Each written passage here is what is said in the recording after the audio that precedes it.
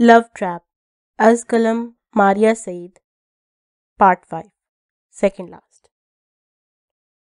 माटा अयान को कॉल करो अभी। वो कमरे से बाहर आती किचन में काम करती माटा को कह रही थी। वो अब वो मजीद इंतज़ार नहीं कर सकती थी। रात मजीद कहती होती जा रही थी, लेकिन जिसके साथ वो यहाँ आई है, इसका दूर दूर तक कोई आने का इम्कान नज़र नहीं आ रहा था। इसके इस तरह जाने से वो फिक्रमंद थी। इसे बहुत बुरा होने का एहसास हो रहा था। दिल में एक अनजाना सा खौफ तारी हो गया था। प्लीज़ अयान, आ जाओ, जहाँ भी हो। वो फ़िक्र से किचन से निकलती दाखिली दरवाजे से बाहर झाँक कर देख रही थी। तो इसे गार्ड्स के अलावा कोई नज़र नहीं आया था, और वो वहीं दरवाजे के आगे टहलती हुई बड़बड़ा रही थी। मिसमल आप फ़िक्र मत करें, सर आ जाएगा। माटा ने इसके पास आकर कहा था, जो इसे फिक्रमंद नज़र आ रही थी। तुम्हें कैसे पता तुम्हारे सर आ जाएँगे? अमल ने रोक कर आईब्रो उठाई, सवाल किया था। वो मिसमल सर की थोड़ी देर पहले कॉल आया था। सर ने कहा, वो आज घर नहीं आ सकेगा। तो आपको कहो, आप फ़िक्र ना करें। आप कमरे में थी, इसलिए बताना भूल गई। मार्टन ने सर झुकाया, गलती तस्लीम करते बताया था। सर ने बताया नहीं, वो कहाँ है? अमल का मीटर हाई हुआ था। मिसमल सर दोस्तों के साथ नाइट क्लब गए हैं। माटा ने डरते कहा। बस वही अमल की बस हुई थी। पार्टी? वो गुस्से से होते लाल चेहरे से यही सोच सकी थी। नाम बताओ क्लब का। अमल ने दो टोक पूछा था। वो, मिस अमल, ओवल स्पेस। माटा ने आगाह करते कहा माटा खाना बन गया कि नहीं? अगर बन गया तो मुझे चीज़ नूडल्स खाने हैं और साथ फ्राइड एग राइस। अभी के अभी जाओ और बना कर आओ अमल माटा की बात बोलने से रोकती बात बदलते हुक्म दे दी गई थी। हम अभी बनाता है माटा ने कहा। माटा के किचन में जाते ही वो चोरी छुपे से कमरे की तरफ़ पड़ी थी। प्लीज़ प्लीज़ लॉक ना हो. हेल्प प्लीज़ लॉक ना हो, अल्लाह. अमल कमरे का दरवाजे का हैंडल घुमाते आँखें बंद किए हुए वो मुँह में बड़बड़ा रही थी। नॉब घुमाते ही दरवाज़ा खुल गया था। वो एक दफ़ा चोर की तरह चारों तरफ़ नज़र घुमाते देख रही थी। रास्ता क्लियर होने की वजह से वह एहतियात से कमरे में आई थी। इसे मोबाइल की तलाश के साथ साथ चाबी की भी थी। माटा के बकौल यहाँ एक बाइक भी थी जो घर के पीछे खड़ी होती थी। आराम से तलाशी लेते हुए इसे सामने ही टेबल पर मोबाइल मिल गया था। वो हर जगह को बिना आवाज़ पैदा किए चेक कर रही थी। बेड के पास पड़े दूसरे खाने में ही इसे चाबियाँ मिल गई थी, जो एक साथ की चेन में लगी हुई थी। अमल आराम से उठते एक दफ़ा कमरे पर नज़र घुमाती निकलकर बिना आवाज़ पैदा किए अपने कमरे में आई थी। कमरे में आकर इसने अपना सांस बहाल किया था। अब बताती हूँ मिस्टर अयान खान, पार्टी किसे कहते हैं। मैं इसकी फ़िक्र में यहाँ मरी जा रही हूँ, जबकि वो गुंडा जलाद डेवल घटिया इंसान पार्टियों में लड़कियों के साथ इंजॉय कर रहा है। वो इसे सारे नामों से नवाजती अलमारी से ब्लैक पेंट और ब्लैक ही जैकेट निकालती गुस्से से आहिस्ता आवाज़ में बोल रही थी। क्या कहा था इसने? बीवी हूँ? हूँ। अब बताऊँगी बीवी क्या होती है। वो गुस्से से बोलती वॉशरूम में घुस गई थी और दो मिनट में कपड़े बदल कर आई थी। इसको मेरी कोई फ़िक्र नहीं तो मैं क्यों करूँ? ठीक कहा।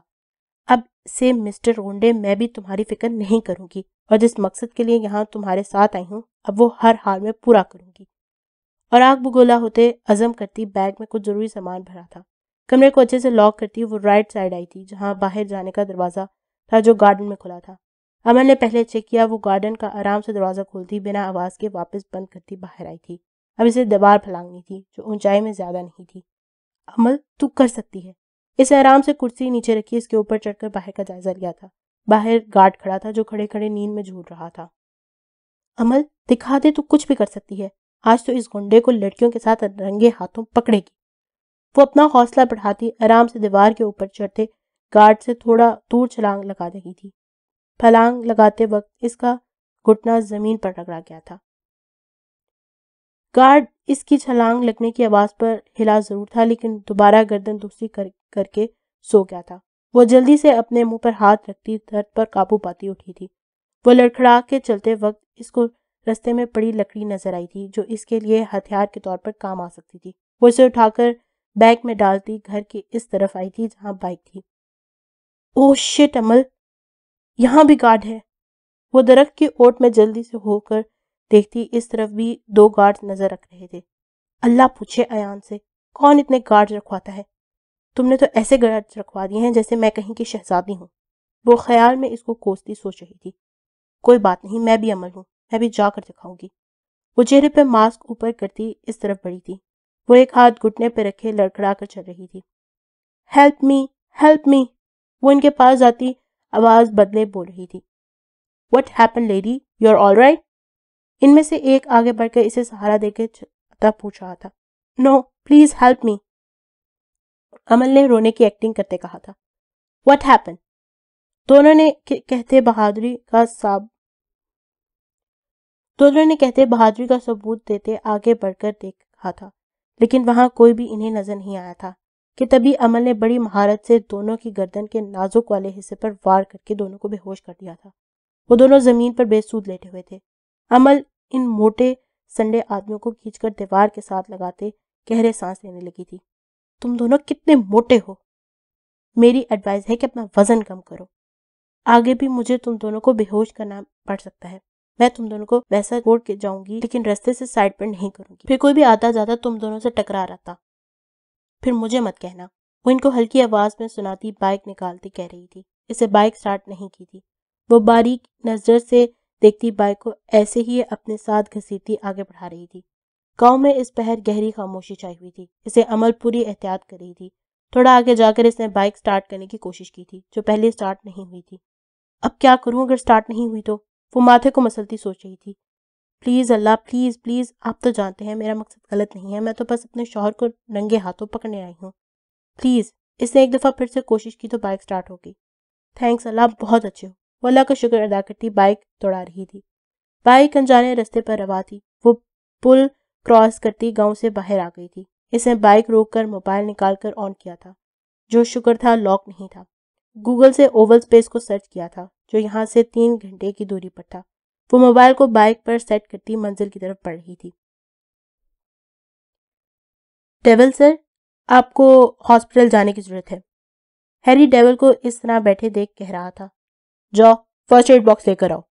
वो जख्म को और दबाते आँखें दर्द से बंद किए बोला था। डेवल सर जख्म गहरा है हैरी ने डरते हुए अधूरी बात कही क्योंकि डेवल इसे घो रहा था सुनाई नहीं देता क्या कह रहा हूँ वो जख्मी शेर की तरह चलाया था हैरी पल में गायब हुआ था डेवल ज़मीन का सहारा लेते कुछ फासले पर पड़े कोट को पकड़ने की कोशिश कर रहा था शर्ट सारी खून से रंगी हुई थी ऐसे करते वक्त इसे बहुत तकलीफ़ हुई थी जो भरी महारत से बर्दाश्त कर रहा था चाकू ज़्यादा गहराई में गया था और कोशिश करते कोट को पकड़कर इसकी पॉकेट से आला निकालकर कान में लगाया था और किसी को ऑर्डर देता वहीं बैठ गया था। हैरी ने दस मिनट में किसी को साथ लाए वापस आया था। मैंने तुम्हें फ़र्स्ट एड बॉक्स लाने को कहा था डॉक्टर को नहीं। टेबल बंद आँखें किए बोला था। इसका चेहरा जर्द पड़ रहा था। टेबल सर प्लीज़ हैरी ने मिन्नत भरे लहजे में कहा डॉक्टर अपना सामान यहाँ रख और इसका इलाज मुझे जो करना है वो मैं जानता हूँ। टेबल ने सर लहजे में कहता, इसका ध्यान काला की तरफ़ करवाता बो रहा था। डेवल सर आपका खून बहुत बह गया है। आपको ट्रीटमेंट की ज़रूरत है। डॉक्टर ने पेशवाराना से कहा डॉक्टर मैं जानता हूँ मुझे कैसे ठीक होना है। अपना काम कर जो करने को कहा है। डेवल होंठों को सख्ती से नीचे बो रहा था। हैरी ने आँख के इशारे से वैसा ही करने को कहा था। डॉक्टर बॉक्स रखकर काला के पास आया था। सर चुप हैरी मुझे काम करने दो। डेवल रोई से जख्म साफ़ करते ऐसे कह रहा था जैसे होमवर्क कर रहा हो। वो बड़ी महारत से अपना इलाज खुद कर रहा था।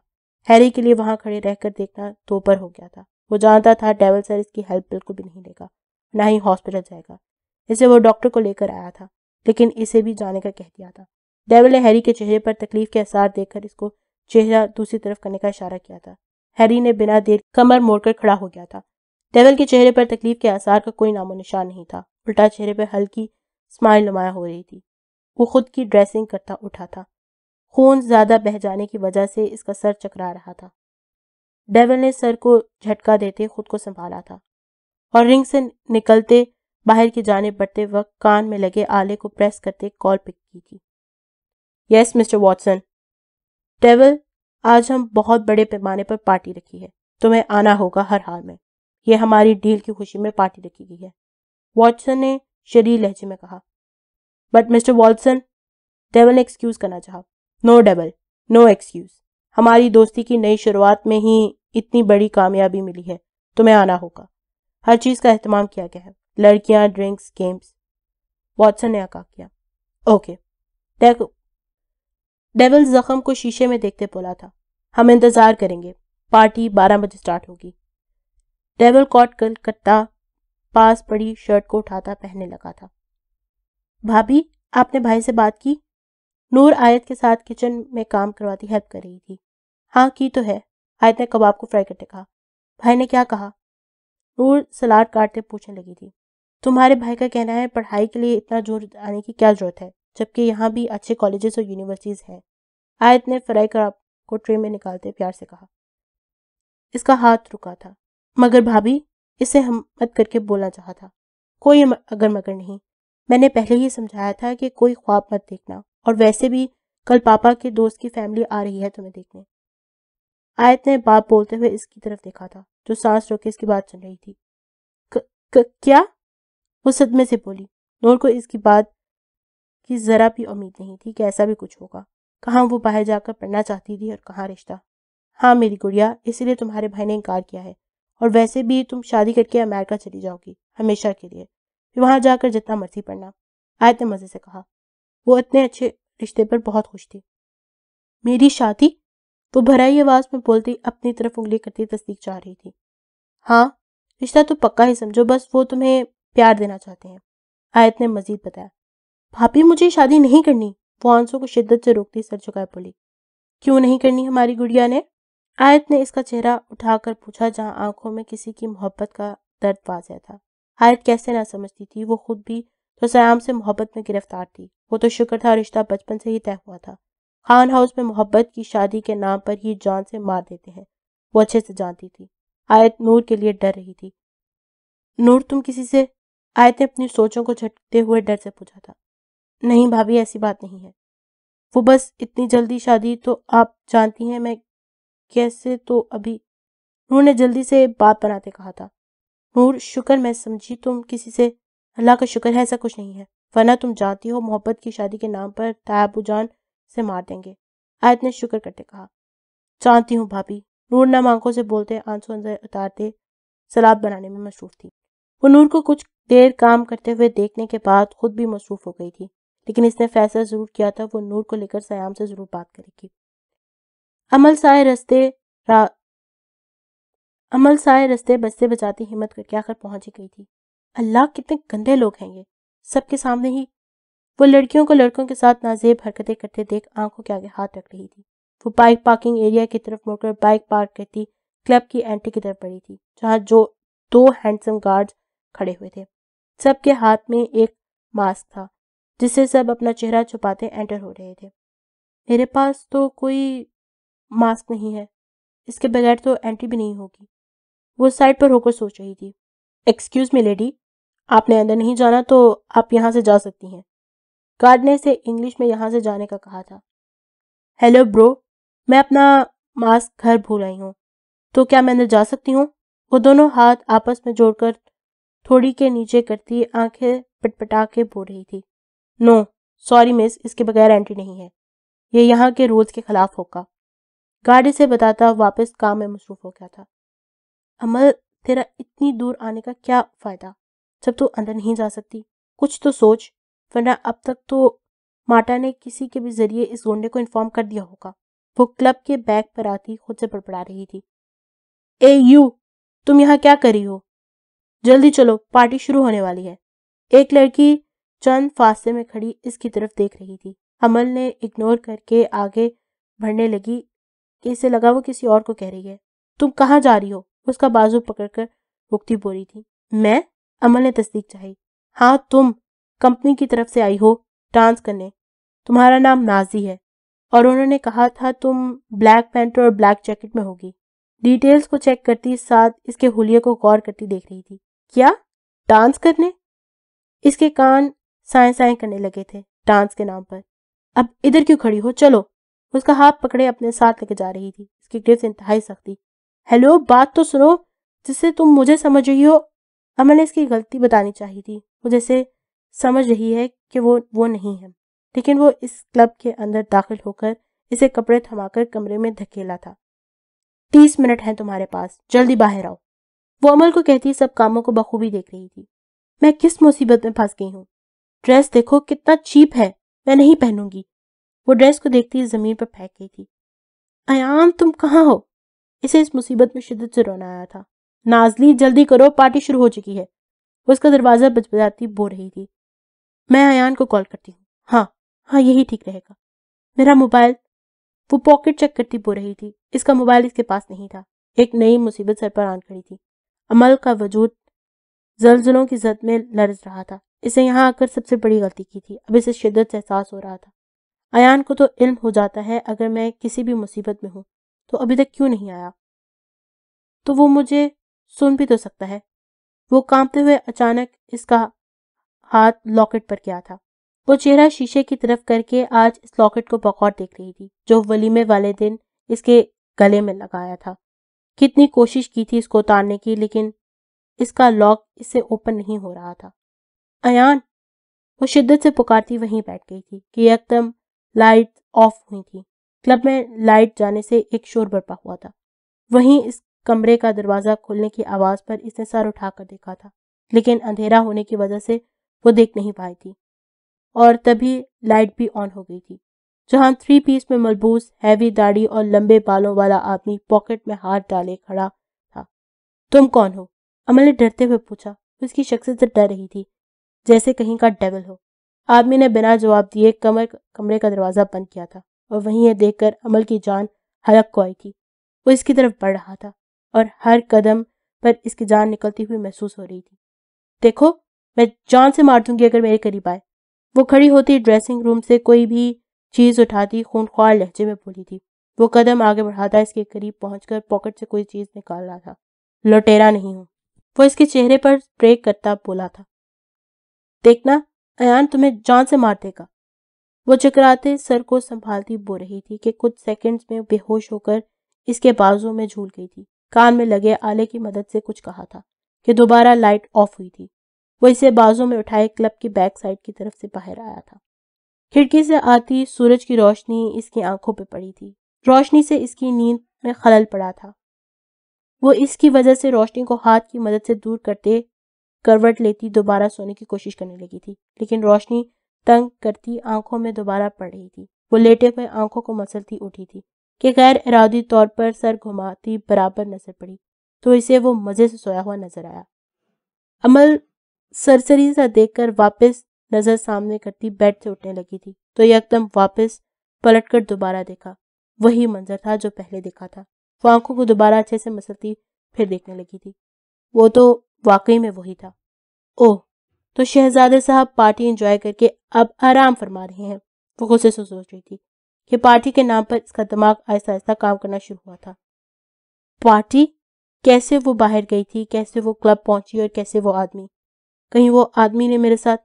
नहीं नहीं, इसे कमल हटाकर अपने कपड़े देखे थे तो इसे ऐसा कुछ नहीं लगा था।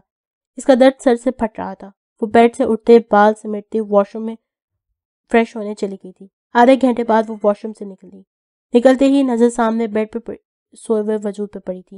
वो इग्नोर करती शीशे के सामने बैठकर ड्रायर से बाल सुखाते हुए कल रात के बारे में सोच रही थी। कौन था वो? अयान को पता है मैं कल इसके पीछे क्लब गई थी। ये उठ क्यों नहीं रहा? वो इसे देखती मुँह में बड़बड़ा कर सोच रही थी। मैं मैं यहाँ नहीं मरना चाहता प्लीज़ हेल्प मी यहाँ बहुत अंधेरा है, वो अंधेरे कुएँ में बंद चला रहा था। कोई तो बचाओ, मैं मर जाऊँगा। मुझे मरना नहीं है।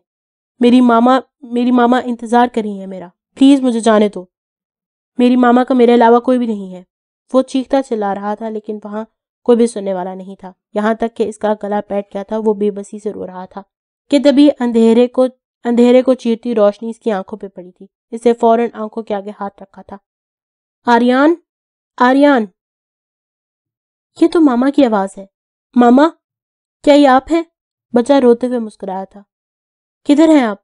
वो खड़ा होता इधर उधर भागता अपनी माँ को पुकार रहा था। नज़र क्यों नहीं आ रही आप, मामा?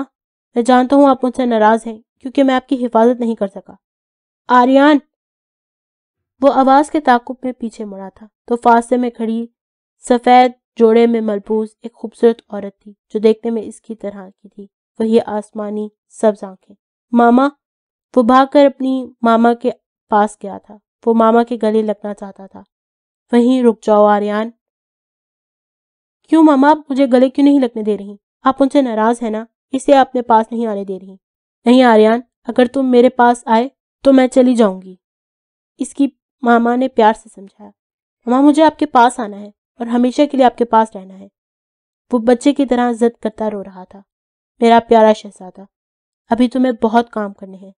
सबके साथ इंसाफ करना है। नहीं मामा, मुझे कुछ नहीं करना। मुझे आपके पास आना है और आपके साथ रहना है। आर्यन, मेरा बहादुर बच्चा। नहीं हूँ बहादुर, बहुत बुरा हूँ। आपका ख्याल नहीं रख सका और ना ही मैं आयान को संभाल सका। नहीं हूँ अच्छा बहुत बुरा हूँ, बहुत। आर्यन ऐसा नहीं कहते। तुम बहुत अच्छे हो माय प्रिंस मामा, आप वापस आ जाए, मैं वादा करता हूँ, आपका बहुत ख्याल रखूँगा। कोई भी नुकसान नहीं पहुंचाएगा आपको। वो आज भरी निगाहों से देखते कह रहा था। माय प्रिंस मैं तुम्हारे पास ही तो हूँ। नहीं आप मेरे पास, मैं अकेला हूँ। वो अपनी मामा को बाजू फैलाते दिखा रहा था। मैं अपने प्रिंस के दिल में हूँ और हमेशा रहूँगी। अपना बहुत ख्याल रखना माय प्रिंस और छोटे भाई का भी। इसके साथ रोशनी भी गायब हुई थी। जैसे वही अपने आप को अंधेरे कुएँ में पाया था। मामा, मत जाए। मामा, वो दिल खराश, चीखता चिल्लाता पुकार रहा था। अमल इसे बड़बड़ाते देखकर इसके पास फ़ौरन आई थी। वो कुछ कह रहा था। मत जाए। प्लीज़ मत जाए। अयान? अयान? अमल ने इसे आवाज़ देकर उठाया। वो अंधेरा। अमल ने इसे दोबारा पकड़कर झंझोड़ कर उठाया था। वो आँखें खोले अपने ऊपर झुकी हुई अपनी बीवी को पा रहा था। तुम ठीक हो? वो फ़िक्र से पूछ रही थी। हम्म। वो गर्दन हाँ में हिलाता इसकी तरफ़ देख रहा था। अमल को इसका चेहरा हल्दी की तरह सर्द पड़ता हुआ लगा था। इसे अपना हाथ बढ़ाकर इसके माथे पर रखा था तो अमल को इसका माथा तंदूर की तरह झलता हुआ महसूस हुआ था। तुम्हें तो बुखार है। वो भी इतना तेज। अमल इसकी गर्दन को छूते कह रही थी। ठीक हो जाएगा। वो कहते हुए उठने लगा था। तुम किधर जा रहे हो? लेटे रहो। वो इसे दोबारा से लटाती घूरी से नवाजती बोली थी। ऐसा करने से इसका जख्म दुखा था। वो दर्द की शिद्दत में इजाफे के बायस चुपचाप लेट गया था। तुम्हें तो इतना बुखार है और तुम उठकर जा रहे हो। वो इस पर अच्छे से कंबल से कवर करती, फ़िक्र से बोल रही थी। तुम्हें फ़िक्र करने की कोई ज़रूरत नहीं है। मामूली से बुखार है, थोड़ी देर में ठीक हो जाएगा। डेविल इसको फ़िक्र करता देख कर एक खुशी मिली थी। इसके लिए वो, इसे कहता वो नॉर्मली अपने कंबल के अंदर से जख्म को हाथ लगाकर चेक कर रहा था। और इसे चेक करने में इसका जख्म से खून बहने लगा था। मामूली सा? इसे तुम मामूली से बुखार कहते हो? कोई भी यही एक कहेगा कि तंदूर की तरह तप रहे हो। वो एक दफ़ा फिर इसका माथा छूती बता रही थी। फिर बेड से उठने लगी थी। उसके इतने लापरवाह होने पर इसका शौक से दिल किया कि एक थप्पड़ जड़ते। तुम्हें मेरी फ़िक्र है? टेवल इसके चेहरे पर फ़िक्र के आसार देकर पूछ रहा था। टेवल इसके चेहरे का उतार चढ़ाव देखकर अपना दर्द भूल गया था। इस तरह अचानक पूछने पर वो थोड़ी देर चुप हुई थी। हाँ मुझे फ़िक्र। इसलिए मैं जब तक वापस नहीं आऊँ, तुम यहाँ से नहीं हिलो उठोगे भी नहीं। वो इसे कहती, उंगली से वॉर्न करती चली गई थी। थोड़ी देर तक इसके अल्फाज, इसके सुकून का बायस बने रहे थे। पूरे घर में देखने पर भी इसे कहीं भी माटा नज़र नहीं आई थी, जिससे अमल परेशान ज़रूर हुई थी। माटा किधर चली गई? वो तो बताए बिना कहीं जाती भी नहीं है। कहीं अयान ने गुस्से से निकाल तो नहीं दिया? वो किचन में आती बाउल निकाल कर ठंडे पानी से भर रही थी। नहीं, इसमें माटा की क्या गलती? इस बेचारी को तो इन भी नहीं था कि मैं क्या करने वाली हूँ। मैं रखवाला हूँ, लुटेरा नहीं। अपने कारनामे को सोचती जहन में इस आदमी के अल्फाज गूंजे थे। वो शख्स कौन हो सकता है? क्या अयान ने इसको भेजा था मुझे बचाने? वो सोच रही थी, लेकिन वो देखने में कितना खौफनाक लग रहा था। लगता है बेचारे के पास बाल कटवाने के पैसे नहीं होंगे। जो बाल नहीं कटवा सका। तुझे क्या? नहीं कटवाता तो ना कटवाए? वो कंदेज गई अयान की थोड़ी तबीयत संभलेगी तो पूछूँगी। वो कौन था? वो किचन से बाहर निकली बोली थी, लेकिन कमरे से सामान गिरने की आवाज़ पर वो ठटकी थी। ये कैसी आवाज़ है? कहीं अयान चकरा कर तो नहीं गिर गए? वो अंदर आती कमरे की हालत का हशर नशर देखकर इसका सर चकराया ज़रूर था। वहीं जब नज़र बिखरे सामान से होते बेड की चादर खून से रंगी देखकर इसके हाथ से बाउल छूटकर ज़मीन बोस होते टूट गया था। ये खून? वो हड़बड़ाकर बेड के पास पहुंचकर खून को देख रही थी, जो ताज़ा था। अयान? वो हल्की आवाज़ में बोली अयान अयान। वो पागलों की तरह अयान को पुकारती चलाने लगी थी। मगर वहाँ कोई होता, तब कोई जवाब देता।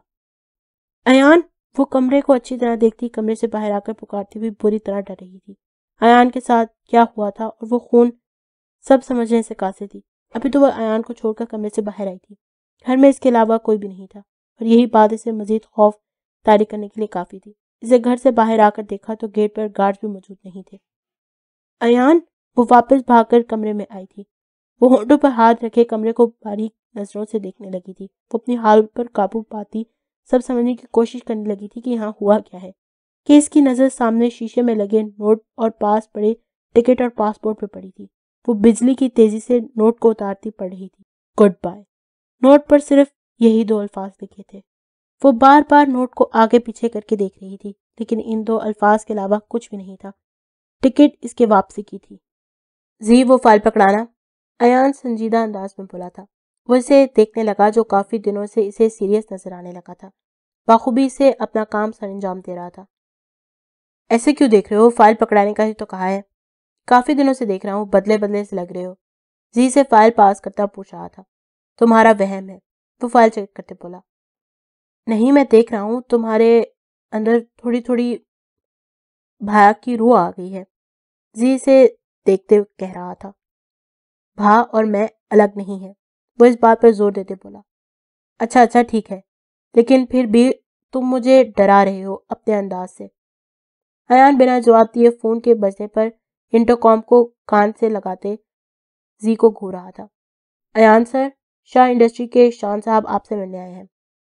समीना ने सामने खड़े शख्स को एक नज़र देकर कहा था, जो ब्लू थ्री पीस में मौजूद था। अंदर भेज दो। वो बोलते इंटरकॉम को वापस रख गया था। किसको अंदर आने का कहा है? जी ने पूछा। शान को। क्या? वो कमीना क्या करने आया है यहाँ? जी भड़का। वाह जी साहब, आपकी कम अकली पर अयान खान का सलाम। वो सलाम करता बोला। कैसे भूल गए आपके बदले और? हाँ हाँ समझ गया। वही शान नॉक करता अंदर दाखिल हुआ था। दोनों ने शान को देखा था जो आँखों में सनग्लासेस लगाए इनके सामने खड़ा हुआ था। वो क्या है, मैं जानता हूँ, तुम दोनों मुझे यहाँ देखकर ज़्यादा खुश नहीं हो गए वो कुर्सी पर बैठ के बोला तो इसीलिए सीधा पॉइंट पर आऊँगा। मैं अपनी शादी का कार्ड देने आया हूँ, जो दो हफ्तों बाद है। सबसे पहला कार्ड तुम्हें ही तो देना बनता है। वो हाथ में पकड़े कार्ड को टेबल पर रखे बोला था। बहुत बहुत मुबारक हो। कार्ड दे दिया तो जा सकते हो। जी ने बेमुरवत इसे कहा था। इसे बाहर जाने का इशारा किया था। दूसरी तरफ़ अयान खान आराम से बैठा इसे सुन रहा था। कार्ड पर नाम नहीं देखोगे? आखिर किसके साथ शादी हो रही है? वो कमीनी मुस्कुराहट होठों पर सजाए बोला था। जी ने हाथ बढ़ाकर कार्ड पकड़ा, देखा तो वो पढ़कर इसे यहाँ से भेजना चाहता था। नाम पढ़ते ही इसे ज़बरदस्त झटका लगा था। जी को लगा वो गलत पढ़ रहा है, इसलिए आँखें मसलते नाम दोबारा पढ़ा। जी की उड़ी हुई रंगत देखकर आयान ने इसके हाथ से काट लिया था। कार्ड पर नाम इसी की बहन का था। क्या बकवास है? वो आग बगोला होकर कार्ड शान के मुँह पे मारता चलाया था। क्यों साले साहब? गुस्सा किस बात का आ रहा है? हम तो रिश्तेदार बनने वाले हैं वो इसके गुस्से को एंजॉय करता आग में तेल डालने का काम कर रहा था। मैं तेरा खून पी जाऊँगा, अगर मुझे अपना रिश्तेदार कहा। अयान इसका गिरेबान पकड़े बुरी तरह झंझोर कर बोला था। रिलैक्स साले साहब, तुम्हारी बहन आखिर मेरी अयान ने इसके मुँह पर मुक्का जड़ दिया था। अपनी गंदी ज़ुबान से मेरी बहन का नाम भी लिया तो जान से मार दूँगा। मुक्का शिद्दत से लगने की वजह से अयान लड़खड़ाया था। तो मारना क्यों रोक रहा है खुद को? तेरी बहन जब मेरी बीवी बनेगी फिर? इसकी बात अयान ने पूरी होने भी नहीं दी थी। एक के बाद एक बार करता है इसके चेहरे पर अयान इसे मार रहा था। अयान छोड़ो इसको। मैं कह रहा हूँ छोड़ो इसको। जी से मुश्किल काबू कर पाया था। शांत फटे होंठ से खून साफ़ करता हुआ मुस्कुराया था। चलता हूँ साले साहब, शादी पर ज़रूर आना। आखिर को बहन की शादी है। शान जाते वक्त लुकमा देता बोला था और दूसरी तरफ़ जी की गिरफ्त आयान में मचल रहा था। वो इसकी जान निकाल लेना चाहता था। शान के जाते ही जी ने इसे छोड़ा था। तुम्हें इल्म भी है? तुम क्या करने वाले थे? अगर मैं ना रोकता? जी ने इसकी गलती बताई। तुम क्या चाहते हो? मैं बेगैरत की तरह इसे अपनी बहन के नाम कर दूँ? और खुश हो मुबारकबाद दूँ वो भी जी पर उल्टा भड़का था। तुम्हें नज़र नहीं आ रहा, वो तुम्हारे गुस्से को हवा दे रहा है। और चाहता भी यही है कि तुम गुस्से में इसके साथ बुरा करो। जी ने इसको समझाया। जी, मुझे तुम्हारी बकवास नहीं सुननी। भा को कॉल करो। अगर नहीं कर सकते तो मैं घर जा रहा हूँ। अयान ने थोड़ा गुस्सा कंट्रोल करते कहा था। जी के बोलने से पहले ही अयान का मोबाइल रिंग हुआ था। अयान जल्दी से मोबाइल को पकड़कर कॉल पिक कर रहा था। कॉल भा की ही थी। भा मैं जान सकता हूँ आखिर क्या हो रहा है। वरना आज शान मेरे हाथों से ज़िंदा नहीं बचेगा। आ जाइएगा इसका जनाजे पर, वो भड़का था। मैं जानता हूँ इस बारे में। वो इस वक्त समुद्र के किनारे मौजूद सिगरेट सुलकाते पुर था। भा, आप जानते हुए भी अपनी बहन को इस कुत्ते को दे रहे हैं? जो ना जाने कितनी लड़कियों की ज़िंदगी बर्बाद कर चुका है? अयान, सुनो बात। मैं जानता था शान और हारून हमारे वीक पॉइंट पर हमला करेंगे। इसीलिए वो धोखे से हमारी फैमिली से मिले और हमारी बहन को मोहरा बनाया। मैं जानता था। डेवल ने समुद्र की लहरों को देखते हुए कहा, अब हम क्या करें भा? मैं किसी भी सूरत को नूर को मोहरा नहीं बनने दूँगा, अयान ने बेबसी से कहा। फ़िक्र मत करो, जब तक मैं हूँ ऐसा कुछ भी नहीं होगा। और वैसे भी शादी में अभी दो हफ़्ते बाकी हैं। हमारे पास वक्त है। डेवल ने आराम से समझाया था ताकि अयान रिलैक्स हो सके। लेकिन भा अयान मैं कह रहा हूँ ना, नूर पर एक भी खराश नहीं आने दूँगा। ओके भा। और हाँ मिस फेरी पाकिस्तान पहुँचने वाली होगी। वो आ भर कर बोला, क्या? भा, वो अमल, वो पाकिस्तान क्यों आ रही है?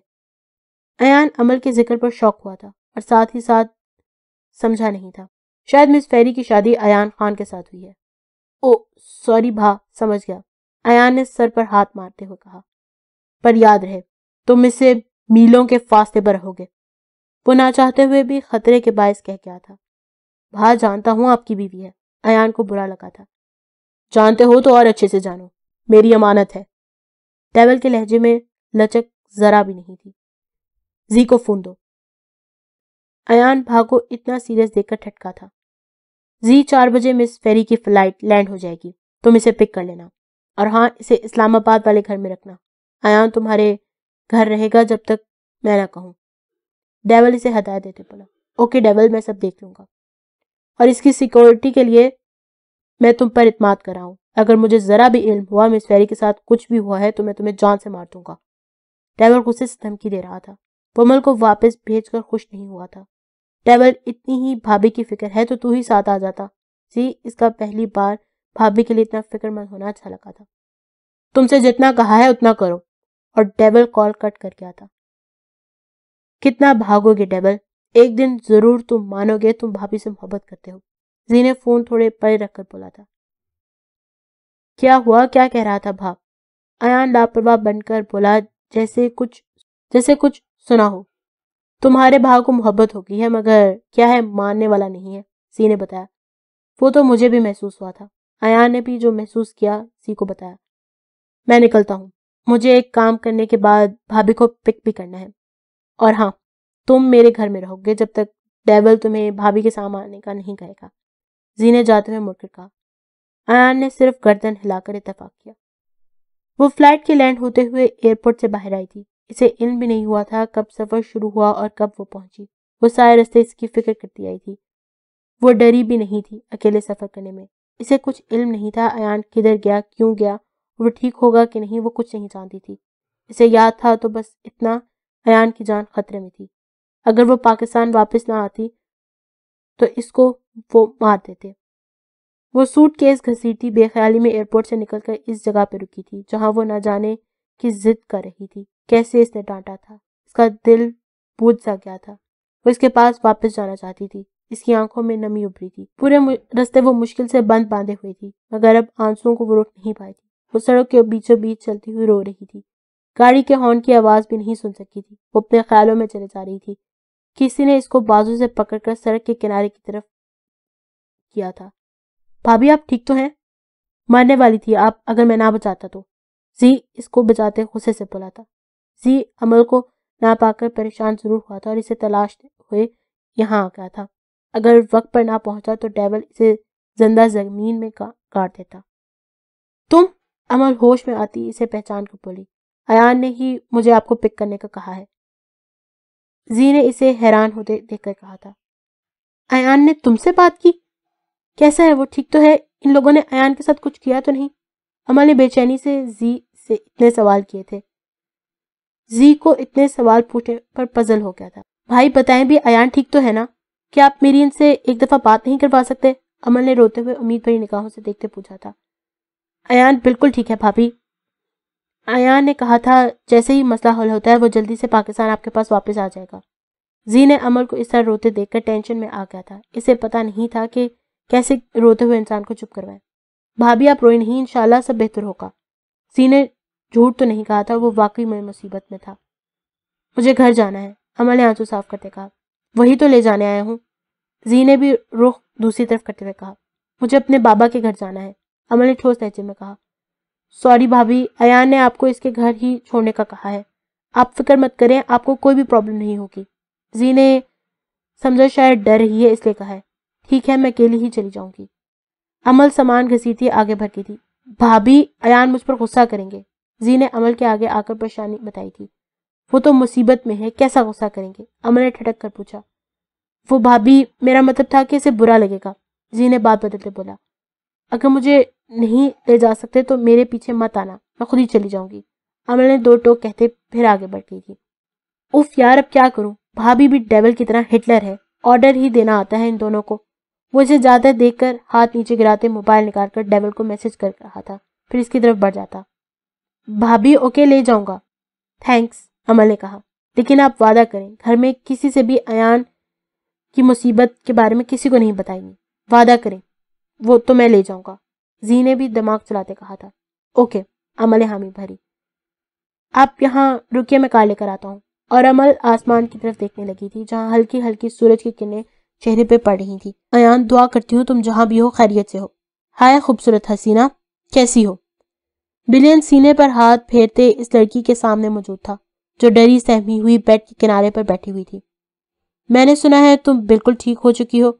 वो खबासत से इसे देखते इसके पास आया था। वो बेड के साथ और चिपकी थी।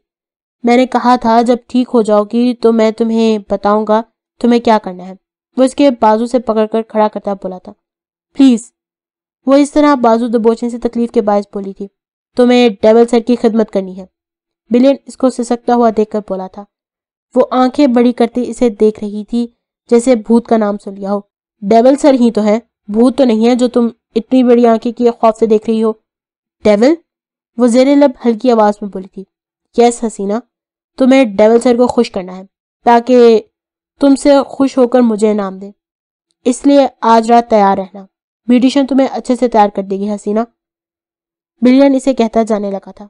मैं नहीं जाऊँगी इसके पास, वो डकते हुए बोली। क्यों नहीं जाएगी? वो गुस्से से पलटकर थप्पड़ जड़ने बोलता था। मैंने तेरी मर्ज़ी नहीं पूछी। आए समझ, वरना तेरी बोटी बोटी कुत्तों को खिलाऊँगा इसे बालों से जकड़ते बोला था। समझी कि नहीं? समझ गई। वो हल्की आवाज़ में हामी भर गई थी। बिलियन इसके बालों को छोड़ता हंसता हुआ कमरे से बाहर निकल गया था। बस इनाम के इंतज़ार में था। डेवल सर खुश होकर इसे कोई बड़ा सा इनाम देंगे। मैं इसके सामने कैसे जाऊँगी? अगर उन्होंने मुझे पहचान लिया तो? वो डरी सहमी बो रही थी। मैं कैसे इनका सामना करूँगी? नहीं, मुझे नहीं जाना। मुझे मर जाना चाहिए। हाँ इनके सामने जाने से बेहतर है मैं मर जाऊँ। वो रोती हुई कमरे में खुद की जात को खत्म करने के लिए कोई चीज़ तलाश कर रही थी, मगर इसे कोई भी ऐसी चीज़ नहीं मिली। डेवल वो थक हार कर बेड पर बैठकर दुखी लहजे में बोली थी, आप तो और बदल गए हो गए शायद ना पहचानो, वो जब्त करके बोली थी। माटा ये तुम किसे यहाँ लेकर आई हो? वो खिड़की से बाहर बच्ची को काम करते देखता बोला था। सर, ये लड़की नौकरी के लिए आई थी, बहुत गरीब बच्चा है इसके घर में आगे पीछे वाला कोई नहीं है, बिल्कुल अकेली है। हमने इसीलिए इसे रखा है ताकि ताकि मेरी कुछ हेल्प कर सके। माटा ने तफसीला कहा की। माटा भी इतनी छोटी तो है, देख कर रखना था। इसे कहो, आज के बाद यहाँ ना आया करे। तुम्हारे अकाउंट में हर महीने रकम ऐड हो जाएगी, इसे दे देना। इसका एडमिशन किसी अच्छे से स्कूल में करवा देना। इस तरह इसकी पढ़ाई भी स्टार्ट होने के साथ साथ इसकी भी मदद हो जाएगी। इसने ऑर्डर देते बात खत्म करते कहा था। जैसे आपको मुनासिब लगे, सर। माटा ने अदब से कहा था। अलीजे अलीजे। यस माटा आंटी। अलीजे पौधों को पानी छोड़कर भाग कर आई थी। वो सोलह साल की खूबसूरत लड़की थी। क्या कर रहा था? माटा ने इसके बाल ठीक करते कहा, जो भागने की वजह से खराब हो गए थे। पानी दे रही थी पौधों को। कोई और काम है तो बता दो, वो भी कर दूँगी। अलीजे ने एहतराम से कहा था, आज के बाद तुम कोई काम नहीं करोगी। क्यों माटा आंटी मुझसे कोई गलती हुई है? मुझे निकाल रही है। वो मासूमियत से बोलते वक्त बहुत प्यारी लगी थी। नहीं अलीजे, मैं तुम्हें निकाल नहीं रही। सर ने तुम्हें एक काम करने से मना किया है। अब से तुम पढ़ोगी। माटा ने से। लेकिन अलीजे को जरा भी खुशी नहीं हुई थी। मुझे नहीं पढ़ना। वो मुरझाए हुए चेहरे से बोली थी। क्यों अलीजे? तुम्हें क्यों नहीं पढ़ना? माटा आंटी, मैं इनके पैसे कैसे ले सकती हूँ जो मेरे हैं ही नहीं? वो मुझ पर तरस खा रहे हैं। और मैं नहीं चाहती कोई मुझ पर तरस खाए। अलीजे ने मना किया था, लेकिन बच्चे नहीं माटा आंटी अगर आप चाहती हैं मैं यहाँ से ना जाऊँ तो आप सर को इनकार कर दें। मैं मेहनत से सब करना चाहती हूँ।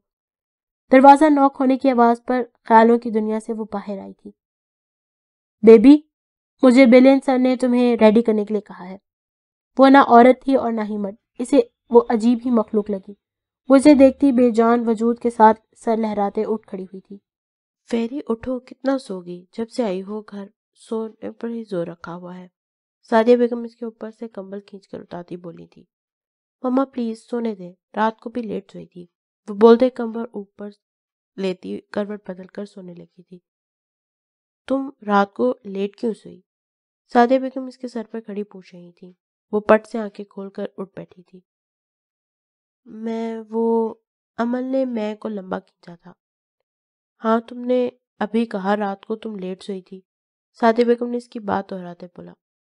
अच्छा वो मामा, मेरे कहने का मतलब था कि वो रात को मुझे ऐसा लगा जैसे मैं जाग रही हूँ। हकीकत में मैं सो रही थी। अमल ने जहन में जो आया, इसने बोल दिया फिर तो मुझे ठीक नहीं लग रही। कहीं बहकी बहकी बातें करने लगी हो। कैसी बहकी बहकी बातें करने लगी हो? सादिया बेगम थोड़ा संजीदा अंदाज में कहने लगी।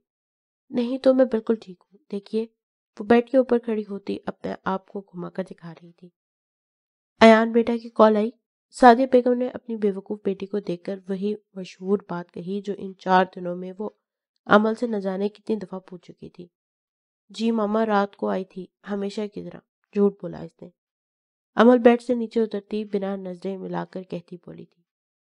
कितने बजे और क्या कह रहा था अयान? इसको मेरा पैगाम दिया कब वापस आ रहा है? सादिया बेगम ने एक के बाद एक सवाल किए रिलैक्स, मामा, रिलैक्स। क्या हो गया आपको? आप जब भी पूछती हैं, यही पूछती हैं, कब आएगा कब आएगा। अगर इतना बुला लग रहा है मेरा आना तो मैं चली जाती हूँ। अमन ने मुँह बनाकर कहा। फेरी, मेरी बात को उल्टा मतलब मत दो। सादिया बेगम ने गौर सारिया बेगम ने घूरी डालते हुए कहा, मामा, मुझे इल्म है, आपका यही मतलब है। मैं आज ही चली जाऊँगी इस्लामाबाद। मेरा इतना दिल था आप सबके पास रहने का, लेकिन आप चाहती ही नहीं कि मैं यहाँ रहूँ। अमल ने सादिया बेगम को ब्लैकमेल करना शुरू कर दिया। फेरी इधर बैठो मेरे पास। सादिया बेगम ने सब तेवर के साथ कुर्ते से अपने पास बैठने का कहा। आपके इरादे मुझे ठीक नहीं लग रहे, अमल ने डरने की एक्टिंग करते कहा। अब तो मुझे वाकई में मार खाओगे अगर चुपचाप मेरे पास ना बैठी? सादिया बेगम ने प्यार भरे लहजे को साइड करते गुस्से से बोला। अमल भी ताबेदारी का मुजाहरा करते चुपचाप बैठ गई। तुम ऐसा क्यों लगता है? मैं तुम्हें यहाँ से भेजना चाहती हूँ। सादिया बेगम ने पूछा। आप भी तो जब भी पूछती हैं, इस जलाद का ही पूछती हैं, अमल ने मुँह बसोर कर कहा। यह जल्लाद कौन है? सादिया बेगम ने इसकी बात को पकड़ा। और कौन? आपका लाडला अयान खान। अमल ने तनक कर बताया। मार खाओगे मुझसे। कौन शोहर को ऐसा बोलता है? कभी मुझे ऐसे अल्फाज तुम्हारे बाबा के लिए इस्तेमाल करते हुए देखा, जो तुम कर रही हो? मैंने ऐसी परविश तो नहीं की तुम्हारी। सादिया बेगम खा जाने वाली नज़र से देखती बोली थी। क्या पता दिल में कहती हूँ, हमें क्या इल्म? वो चेहरा नीचे झुकाया, हल्की आवाज़ में हँसी और मिनमिना रही थी। क्या? तुम्हें पता है मैं बताती हूँ। सादिया बेगम उसका कान पकड़कर हल्का सा दबाया, क्योंकि वो अपनी बेटी की बड़बड़ाहट अच्छे से सुन सकी थी। अच्छा अच्छा ठीक है मामा, अब दर्द हो रहा है मुझे। हाँ ठीक कहा। और रही बात जो तुम कह रही थी तो मैं यहाँ से भेजना चाहती हूँ तो ऐसी कोई बात नहीं है। मैं इससे अयान का पूछती हूँ कि जब बेटियों की शादी हो जाती है तो वो अपने घर में ही अच्छी लगती है। मैं तुम्हें आने से रोक नहीं रही कि भाई तुम्हारा अपना घर है, लेकिन जब भी आओ, अयान के साथ आओ। आज तुम्हें चार दिन हो गए हैं, लेकिन मुझे एक दफ़ा नज़र नहीं आया कि अयान ने तुम्हें कॉल की हो या तुमने की हो। जब मैं तुमसे पूछी तुम यही कहती हो, रात को कॉल आई। ऐसा क्यों है? ये मैं तो नहीं जानती तुम दोनों के दरम्यान में क्या हुआ है? क्योंकि ये तुम दोनों मियाँ बीवी का मामला है और ये तुम ही संभालोगी। लेकिन फेरी, फिर भी कोई सीरियस मसला है तो मैं तुम्हारी माँ हूँ। मुझे बताओ, अगर मुझे नहीं बताना चाहती तो अपने बाबा से शेयर करो। तुम हमारी अकलौती बेटी हो। मामा, आँखों में नमी आने की वजह से वो सादिया बेगम के कंधे पर सर रख गई थी। इसका दिल किया था वो बता दे, वो क्यों परेशान रहती है? मगर वो बताकर मामा पापा को परेशान नहीं कर सकती थी। आप बहुत अच्छी हैं, मगर सच में मामा, ऐसी कोई बात नहीं है। वो सुबह बिज़ी होते हैं, इसीलिए रात को कॉल करते हैं। अमल ने नमी को अंदर धकेलते फिर से झूठ बोला था। सच कह रही हो? सादिया बेगम ने बालों में हाथ फेरते पूछा। बिल्कुल मामा, आप ज़्यादा सोच रही हैं। कल रात अयान कह रहे थे, जैसे ही वो काम से फ्री हो जाएँगे, वो मुझे लेने आ जाएँगे, आप बिल्कुल फ़िक्र मत करें। ने सादिया बेगम का हाथ अपने हाथ में लेकर कहा, ऐसा ही हो जैसा तुम कह रही हो। दुआ है तुम दोनों हमेशा खुश रहो, मेरी जान। सादिया बेगम इसे सीने से लगाकर अमल के सर पर होन रखते कह रही थी। हसन के खांसने की आवाज़ दोनों माँ बेटी को अपनी तरफ़ मतवजो किया था, जहाँ फारूक साहब दरवाजे पर खड़े थे। अगर आप दोनों का प्यार, मोहब्बत और गले मिलना हो गया हो तो नीचे चलें। हम गरीब को किस बात की सजा मिल रही है, जो हम भूखे बैठे हुए हैं? हसन ने मीठा तंज करते कहा। नहीं खत्म हुआ प्यार भाई, आप क्यों जा रहे हैं? अमल सादिया बेगम के करीब और होती बोली अबे यार चुड़ैल हसन फारूक साहब ने गरजदार आवाज़ से कहते से घूरी से नवाजा था। हसन फारूक साहब की मौजूदगी फरामोश कर गया था। फारूक साहब के टोकने पर हसन सादिया बेगम के साथ दूसरी साइड पर जाकर बैठ गया। अमर और सादिया बेगम ने हसन की इस हरकत पर बमुश्किल हँसी रोकी थी। मिस वेरी ये मेरी भी मामा है, जिस पर आपने पिछले चार दिनों से डाका डाला हुआ है। हसन ने अब फारूक साहब की मौजूदगी का ध्यान करते अदब से कहा था। अमल तो मिस फेरी के लफज पर ही खो गई थी। चार दिनों से इस नाम को सुना ही नहीं था। इस नाम से तो वही जल्लाद याद आया था जो बोलता था इसे इस नाम से। भाई, जाए, क्या याद करेंगे? मिस फेरी ने आप पर एहसान किया चाय ले ले मामा को। तब तक मैं फ्रेश होकर आती हूँ। वो हसन पर एहसान वाले अंदाज में कहती उठी थी। एकदम दिल दोबारा से मुरझा गया था, मगर वो अपने अमल से ज़ाहिर नहीं कर सकती थी। हाँ ठीक है, तुम फ्रेश होकर जल्दी से नीचे आओ। सादिया बेगम के कहने पर साथ हसन भी उठा था। और वहीं दूसरी तरफ़ फारूक साहब अमल की कैफियत समझ नहीं पा रहे थे। वो पुलिस वाले थे क्या तो काम यही था, छुपे हुए राजों को सरेआम लाना। वो बारीक नज़र से अपनी बेटी का जायजा ले रहे थे, जो अमल ने भी नोट किया था। क्या हुआ है पापा आप ऐसे क्यों देख रहे हैं? अमल ने पूछा। देख रहा हूँ, मेरी बेटी बड़ी हो गई है, बहुत कुछ छुपाने लगी है हमसे। फारूक साहब ने सीरियस होकर कहा, माहौल में यकदम संजीदगी ने आन घेरा था। नहीं बाबा, मैं आपसे क्या छुपाऊँगी? वो जाकर सीधे गले लगती बोली, यही तो समझ नहीं आ रहा क्यों छुपा रही हो? फारूक साहब मजीद संजीदगी से बोले, अमल, जाओ, अब फ्रेश नहीं होना क्या? सोच लो, मैं मामा को फिर ले जाऊँगा। हसन ने हँसते हुए माहौल को खुशगवार किया, मैं लेने देती हूँ आपको। बस फ्रेश होकर मैं आपसे मामा वापस ले लूँगी। वो फिर से अपने चेहरे पर स्माइल से जाती बोली थी और सबको बाहर भेजकर दरवाज़ा बंद करती दरवाजे के साथ नीचे बैठ गई थी। इसका दिल मुरझाए हुए फूल की तरह हो गया था। वो खुश नहीं थी पाकिस्तान वापस आकर। इसका दिल इसी के पास जाने का करता था। वो कहीं ना कहीं मानने लगी थी कि वो इसे पसंद करने लगी है, लेकिन वो नहीं जानती थी, वो पसंद नहीं, मोहब्बत करने लगी थी। और वही इसकी याद में दो आँसू टूटकर गालों पर बहे थे, जो इस बात का सबूत था कि वो इसके बगैर नहीं रह सकती। बहरहाल वो जल्द ही हालात को काबू पाती, आँसू साफ़ करती, डेस्क पर आई थी और डेस्क के नीचे से इसने अपना चार्ट निकाला था, जिस पर पिछले दिनों से काम कर रही थी। एक पॉइंट को वो सर्कल करती, वापस चार्ट को इसी जगह छुपाकर फ्रेश होने चली गई थी। लगता है खराज तहसीन वाले जख्म मदम पड़ गए हैं।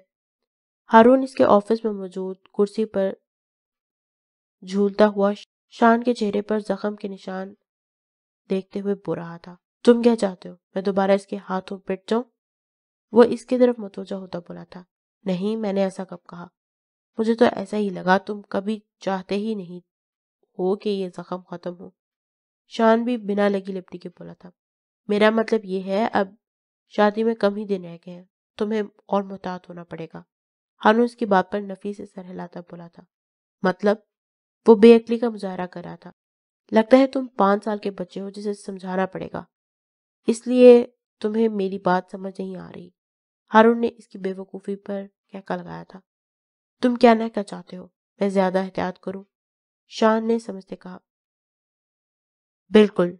ये ना हो कहीं से भी आती गोली सीने चीरते आगे चली जाए और तुम बदला लेने से पहले ही मर जाओ। हारून ने इसे नक्शा खींचते हुए बताया। तो इस डर से चूड़ियाँ पहनकर घर पे बैठ जाऊँ क्या? तुमने ही कहा, कहा था कि इसकी बहन से शादी करो। अब वही तो कर रहा हूँ। अब खुद ही डरा रहे हो। शान को कभी भी इसकी बिल्कुल समझ नहीं आई थी। आई थिंक तुम्हें इसकी बहन को शादी की शॉपिंग पर लेके जाना चाहिए। वैसे भी शादी में कम दिन रह गए हैं। हारून ने आइडिया देते कहा था। अभी एहतियात करने का कह रहे थे और अभी खुद ही बाहर भेज रहे हो शाह ने कहा। वो तो मैं वैसे ही कह रहा था। वो पेट पीछे वार नहीं करता। इससे तुम्हें कुछ नहीं कहेगा। वो इसकी तारीफ़ करता कह रहा था। लेकिन मैं क्या करूँगा? इसे ले जाकर शान झुंझलाया। जो सब करते हैं, शॉपिंग। लेकिन मुझे शॉपिंग कराने वाला काम बिल्कुल पसंद नहीं। शान ने साफ़ इनकार किया। शॉपिंग तो एक बहाना है। असल में तुम्हें इस लड़के को एक होटल में लेकर आना है। हारून ने इसे प्लान बताया। फिर इससे क्या होगा? इससे दोनों हाथ आपस में मिलाते हो। वही सब जो सबके साथ होता है।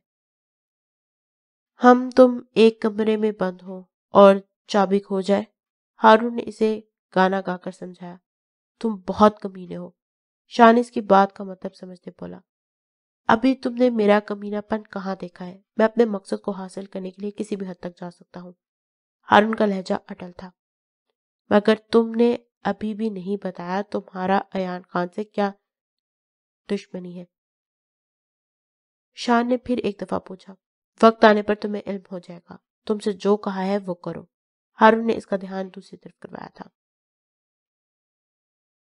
Baby you are looking so beautiful beautician ने इसका रुख शीशे की तरफ़ करते तारीफ़ की थी।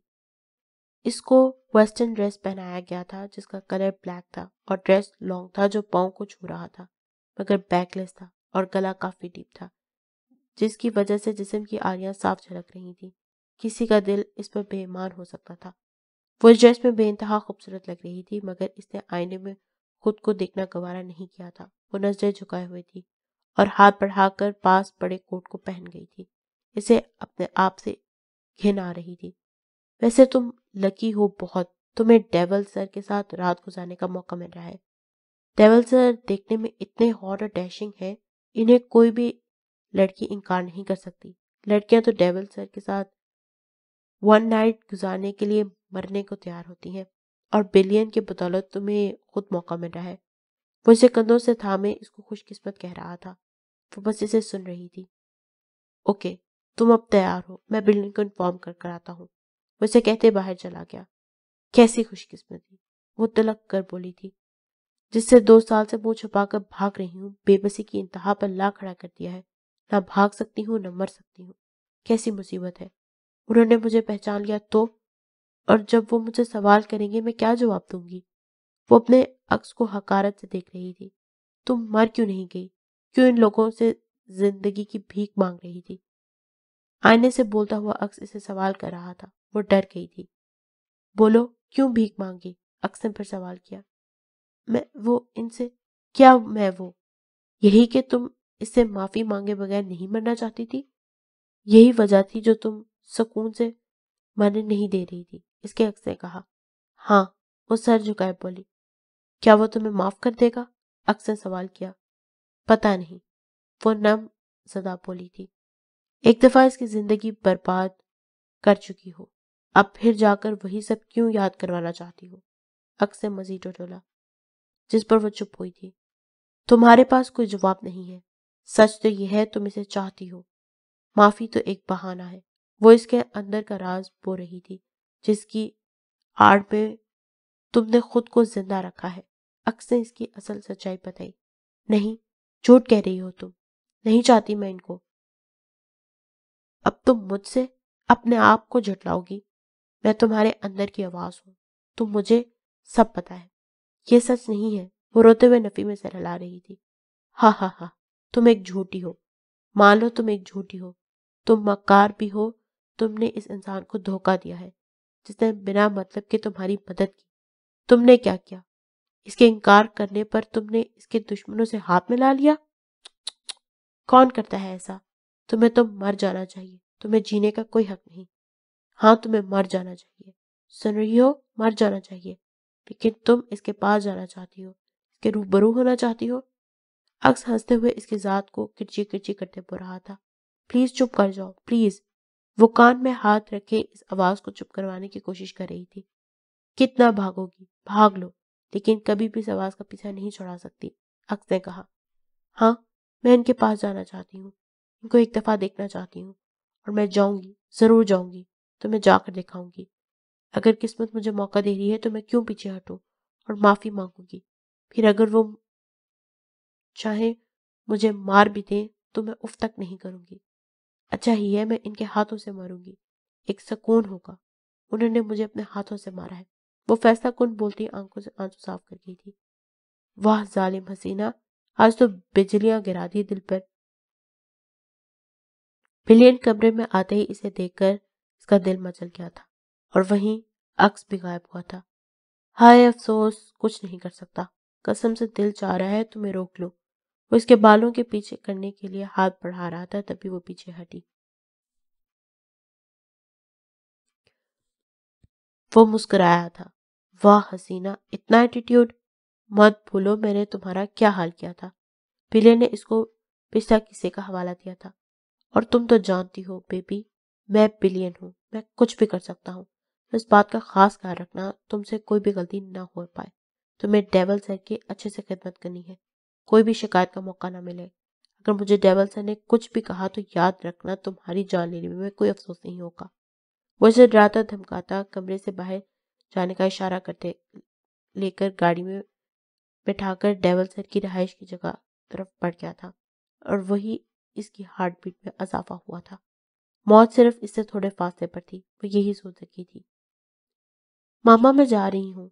वो लाउंज में खड़ी सूटकेस को थामे, ऊँची आवाज़ में बोल रही थी। वो कल ही फैसला कर चुकी थी, वो वापस इस्लामाबाद चली जाएगी। मगर सादिया बेगम किचन में मौजूद गुस्से से काम करती, इसकी आवाज़ को अनसुना कर दिया था। वो मुस्कराई थी। हसन का भी कुछ ऐसा ही हाल था। वो खुद नहीं चाहता था फैरी इस्लामाबाद जाए। इसके बरक्स फारूक साहब खामोशी से बैठे हुए थे। पापा, आप तो कहे मामा को, मैं फिर आऊँगी ना आप सबसे मिलने। अमल फारूक साहब को सोफे से उठाकर करती सीने से लगाने लगी बोली थी। सादिया बेगम, अगर हमारी बेटी ससुराल जाना चाहती है तो इसमें क्या बुराई है? वो अपने घर ही तो जा रही है। वैसे भी नूर बेटी की शादी होने वाली है। घर के सौ काम होते हैं। आप ही कहती हैं बहू को जिम्मेदार होना चाहिए। हमारी बेटी तो इस घर की बड़ी बहू है। इस नाते इसका वहाँ होना ज़रूरी है। फारूक साहब अमल को साथ लगाए, किचन में इतने अपनी बीवी को समझा रहे थे।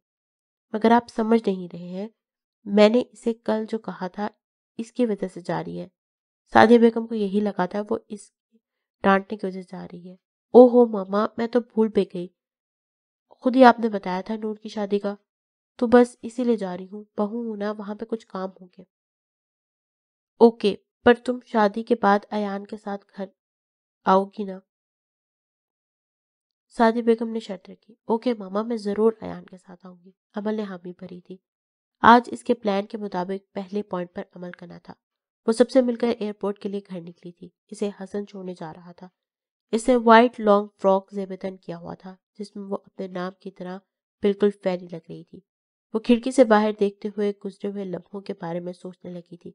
इसे अपनी ज़िंदगी एक पहेली की तरह लगने लगी थी, कब क्या हो जाए किसको इल्म हो। कि इसके पास से ब्लैक कलर की गाड़ी गुजरी थी। वो बिल्कुल वैसी ही थी जैसे अयान की गाड़ी थी। अयान? ये तो अयान की गाड़ी है। वो पाकिस्तान आ गया है? वो पुरजोश होकर बोली थी। क्या कहा? कौन वापस आ गया है? ड्राइव करते हसन ने पूछा। भाई, इस गाड़ी का पीछा करें। अमल गाड़ी की तरफ़ इशारा करते बता रही थी। लेकिन क्यों फेरी कोई मसला हुआ है? नहीं भाई, आपसे जितना कहा इतना करें, जल्दी करें। मगर एयरपोर्ट नहीं भाई, आप पीछा करें, जल्दी। अमल ने ज़ोर देते कहा। हसन ने भी अमल की इस कदर ज़ोर देने की वजह से वो गाड़ी के पीछे चलने लगा जो डिफेंस के रास्ते पर जा रही थी। भाई, गाड़ी को ओवरटेक करें जल्दी से। इसका दिल से अयान की मौजूदगी का पता रहा था। हसन गाड़ी की फुल स्पीड करता गाड़ी को ओवरटेक करते इसके आगे गाड़ी एक झटके से रुक गया था। दूसरी गाड़ी भी झटके से रुकी थी। अमल फौरी गाड़ी से नीचे उतरकर बिना हसन की बात सुने इस गाड़ी के पास पहुंचकर विंडो पर नॉक किया था। इसके चेहरे पर खुशी की रमक थी। फेरी, तुम क्या करी हो? बताओगी भी नहीं। वो इसके सर पर पहुंचकर अपनी बहन का पागलपन देख रहा था। गाड़ी में मौजूद शख्स ने गाड़ी की खिड़की नीचे करके देखा था। वो कोई और शख्स था। यस, आप दोनों को क्या चाहिए जो इस तरह गाड़ी को ओवरटेक करके रोका हुआ है? वो शख्स तपता हुआ पूछ रहा था। अमल बिना जवाब दिए बुझे दिल से वापस पलटकर गाड़ी में जाकर बैठ गई थी। उसका दिल फूट फूट रोने का कर रहा था। हसन इस शख्स से एक्सक्यूज करता वापस गाड़ी में बैठकर अमर को घू रहा था। मैं जान सकता हूँ तुम क्या करना चाहती थी? हसन सख्त लहजे में पूछ रहा था। वो भाई मुझे लगा वो अयान की गाड़ी है। अमल ने ऐसा आवाज़ में कहा। वाह वाह अमल, तुम्हें लगा और तुम चल पड़ी मुँह उठा के तुमने खुद हमें कहा है वो बिज़नेस ट्रिप पर गया हुआ है। अब तुम खुद इसकी गाड़ी को, अयान की गाड़ी समझ रही हो। तुम कितनी अजीब हो गई हो। घर पर तो थी, मगर अब और भी ज़्यादा हो गई हो। आखिर मसला क्या है तुम्हारे साथ? ऐसे क्यों हो गई हो? हसन ने जिद होकर पूछा। सॉरी भाई, हम फ़्लाइट के लिए लेट हो रहे हैं। गाड़ी चलाए। वो एक्सक्यूज करती, सर सीट के साथ टिका गई थी। हसन जवाब ना पाकर ट्रेन को सख्ती से थामे बारह गाड़ी चलाने लगा था। गाड़ी का एक मॉडल थोड़ी होता है, किसी के पास भी हो सकती है। इसे दुखी होकर सोचा था और वही बंद आँखों से एक आँसू चुपके से बहकर इसके कपड़ों में घूम गया था। नफरत करती हूँ मैं तुमसे, अयान खान, नफरत। वो तकलीफ़ लहजे में पड़पड़ाई थी। डेवल का जख्म काफ़ी हद तक भर चुका था। वह इस वक्त रेसलिंग रिंग में मौजूद फायर के ज़रिए अपने आप को रिलैक्स कर रहा था। साइड पर खड़ा, काला इस लड़ते हुए देख रहा था। शर्त के मुताबिक वो इसके हुक्म का ताबे था। जहाँ जहाँ डेवल जाता, इसके साथ ही काला होता था। वो पसीने से भीगा हुआ रिंग से बाहर निकल ये इसके हाथ से पानी की बोतल लेकर मुँह को लगा रहा था। वो हाँप रहा था। सांस तेज से ऊँची हो रहा था। वो हाथ के ग्लव्स काला को थमाता कपड़े चेंज करने चला गया। काला को शुरू शुरू में गुस्सा तो बहुत आया, मगर हैरान भी हुआ था। इसने इसे नुकसान पहुँचाया था और डेवल ने इसे कुछ भी नहीं कहा था। और ना ही मारकर खत्म करने लगा था, बल्कि उल्टा इसका इलाज करवाया था और शर्ट के मुताबिक वो इसके साथ रहता था। वो कपड़े बदल कर बाहर आता, इसे घर चलने का कह रहा था। डेवल सर मैंने आप पर हमला किया। आपने मुझे जान से क्यों नहीं मारा? अगर आपकी जगह इस वक्त कोई भी होता, अगर हारून भी होता तो मुझे कब से जान का मार देता? काला इसके साथ चलते लिफ्ट के सामने खड़े होते इतने दिनों से पलता हुआ सवाल हिम्मत करके पूछ था। यही तो फ़र्क है मुझमें और दूसरों में। किसी को इल्म नहीं होता मैं कब क्या कर जाऊँ। वो लिफ्ट के अंदर मौजूद बोला था। काला इसके जवाब पर खामोश हुआ था। लिफ्ट का दरवाज़ा खोलकर वह दोनों बाहर आते रात के अंधेरे में जंगल से बाहर जा रहे थे, जहाँ खौफनाक मंजर के साथ खून जमा देने वाली भी सती थी। बर्फबारी होने की ज़्यादा इम्कान थे। जैसे ही सर्द हवा का झोंका जिसम से छूकर गुजरता तो जिसम कब को पहाड़ तारी हो जाती। वो गाड़ी में बैठ गया था। काला ने घर के रास्ते पर गाड़ी को दौड़ाया था। अभी दस मिनट ही गुजरे थे, बर्फबारी होना शुरू हो गई थी। मुनजे लैपटॉप से हटाकर सामने देख रहा था, जहाँ गाड़ी की रोशनी सर पर पड़ने के साथ ज़बरदस्त बर्फबारी खूबसूरत मंजर पेश कर रही थी। मिस फेरी, काश तुम इस वक्त मेरे साथ होती। दिल में एक ख्वाहिश उभरी थी कि इस मंजर को देखने के लिए वो साथ होती। वो बर्फबारी को बरसते देखकर सोच रहा था। फिर एकदम सोचकर झटके से लैपटॉप में वापस मसरूफ हो गया। आधे घंटे बाद गाड़ी आलीशान घर के सामने रुकी थी, जो इसकी शयान शान था। वो गाड़ी से नीचे उतरता तो काला ने इस पर छतरी का साया किया। इसे वो मंजर याद आया जब वो इसे ही इसके लिए छतरी लेकर गाड़ी के बाहर खड़ा था।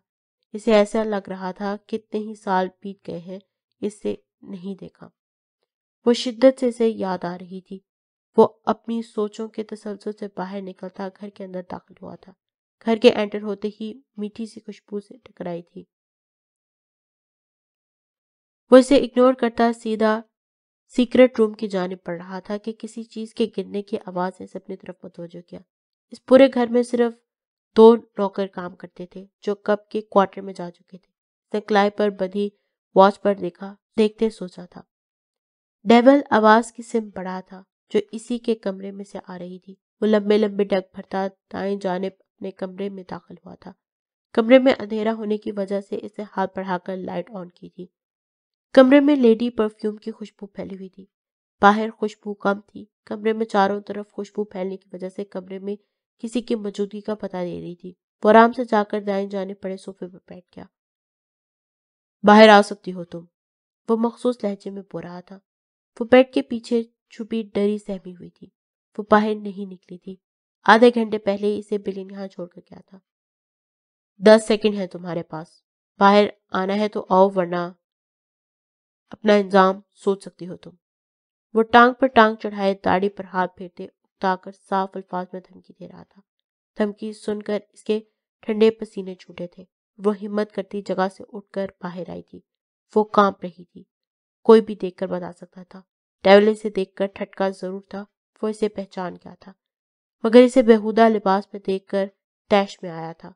वो जगह से खड़ा होता, तने हुए एक्सप्रेशन लिए इसके सामने खड़ा हुआ था। डेवल ने सिर्फ़ इसके चेहरे पर नज़र गाड़ी हुई थी। वहीं वो बेहोश होने के दर पे थी। कि तभी डेवल ने घुमाकर थप्पड़ इसके चेहरे पर रसीद किया था।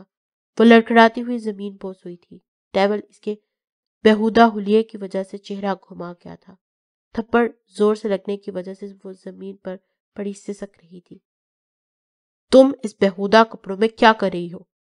वो चेहरा बिना इसकी तरफ़ किए इस पर चिल्लाया था। डेवल के बोलने पर इसके रोने में और रवानी आई थी। रोने की आवाज़ कमरे में गूंज रही थी। डेवल की दिमाग की नसें उपरी थी, वो इस कदर गुस्से में था कि बमुश्किल खुद पर जब कर रहा था।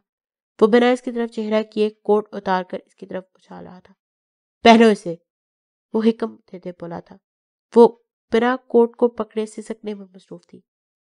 बच्चे मैं क्या कह रहा हूँ? पहनो इसे। वो मजीद भड़का था। इसकी आवाज़ के साथ दुख भी छुपा हुआ था। वो भी रोते हुए कोट को पहनकर बटन बंद करती खड़ी हुई थी। डेवल ने पलट कर देखा था, इसके गाल पर, इसके थप्पड़ का निशान पास था। बैठो। वो बेड की तरफ़ इशारा करता इसे बैठने का कहता, अपने अंदर के वैश्य रूप को कंट्रोल करने की टहल रहा था। इसकी आँखें इस कदर वहशाना लग रही थी, जैसे अभी इनमें से खून टपकना शुरू हो जाएगा। इसका बस नहीं चल रहा था, इसे जान से मार दे कपड़े तुम्हें थोड़ी देर में मिल जाएँगे। तो इनको पहन लेना। और तुम्हें भूख भी लगी होगी, खाना भिजवा रहा हूँ, खा लेना। वो सपाट लहजे में बिना इसकी तरफ़ देखे बो रहा था। तब तक तुम आराम करो, सुबह बात होती है। वो इसके सर पर शफकत भरा हाथ रखकर कमरे से जाने लगा था। क्यों कर रहे हैं? वो इसके पीछे से रोती हुई बोली थी। वो रुका था, क्योंकि क्योंकि मैं तुम्हें बहन मानता हूँ। वो बिना पलट कर बोला था। मैं आपको भाई नहीं मानती। मैं मोहब्बत, इसके आगे एक लफ्ज भी मत बोलना बच्चे, वरना मैं खुद पर कंट्रोल नहीं रख पाऊँगा। तो ना करें बर्दाश्त। माँ ने जान से मारते मुझे। आपके हाथों ही मरने वाली हूँ मैं, वरना कब की मर जाती। वो आँसू लिए इसके सामने चेहरा खड़ी हो रही थी। आप जानते थे, मैंने आपको धोखा दिया है, और आपने मुझे नहीं मारा। बल्कि वो आप ही थे जिसने मुझे इन लोगों से बचाया। कोई और होगा। गलत फहमी है तुम्हारी। मुझे तो इल्म भी नहीं था। तुम कहाँ हो? डेवल वैसे ही खड़े बोला था। जब आपने मुझे इन गंदे लोगों से बचाया था, मुझे एहसास हुआ था आपके साथ गलत किया है मैंने। और मेरे अंदर का गिल्ट बढ़ता चला गया था। वो मुझे अंदर ही अंदर जीने नहीं दे रहा था। वो अपनी बात जारी रखती बोली थी। बस करो। जो हो गया सो हो गया। इसे बुरा ख्वाब समझकर भूल जाओ। वो पलट कर बोला, इसका लहजा थोड़ा सा नरम हुआ था। नहीं, क्यों भूल जाऊँ? इसीलिए वहाँ से मैं भाग गई। आपका सामना करने की हिम्मत नहीं थी। इसीलिए जहाँ पर भी आपने रखा हुआ था, वहाँ से भाग गई। दो साल, डेवर सर, दो साल। मैंने बहुत मुश्किल से गुजारे हैं।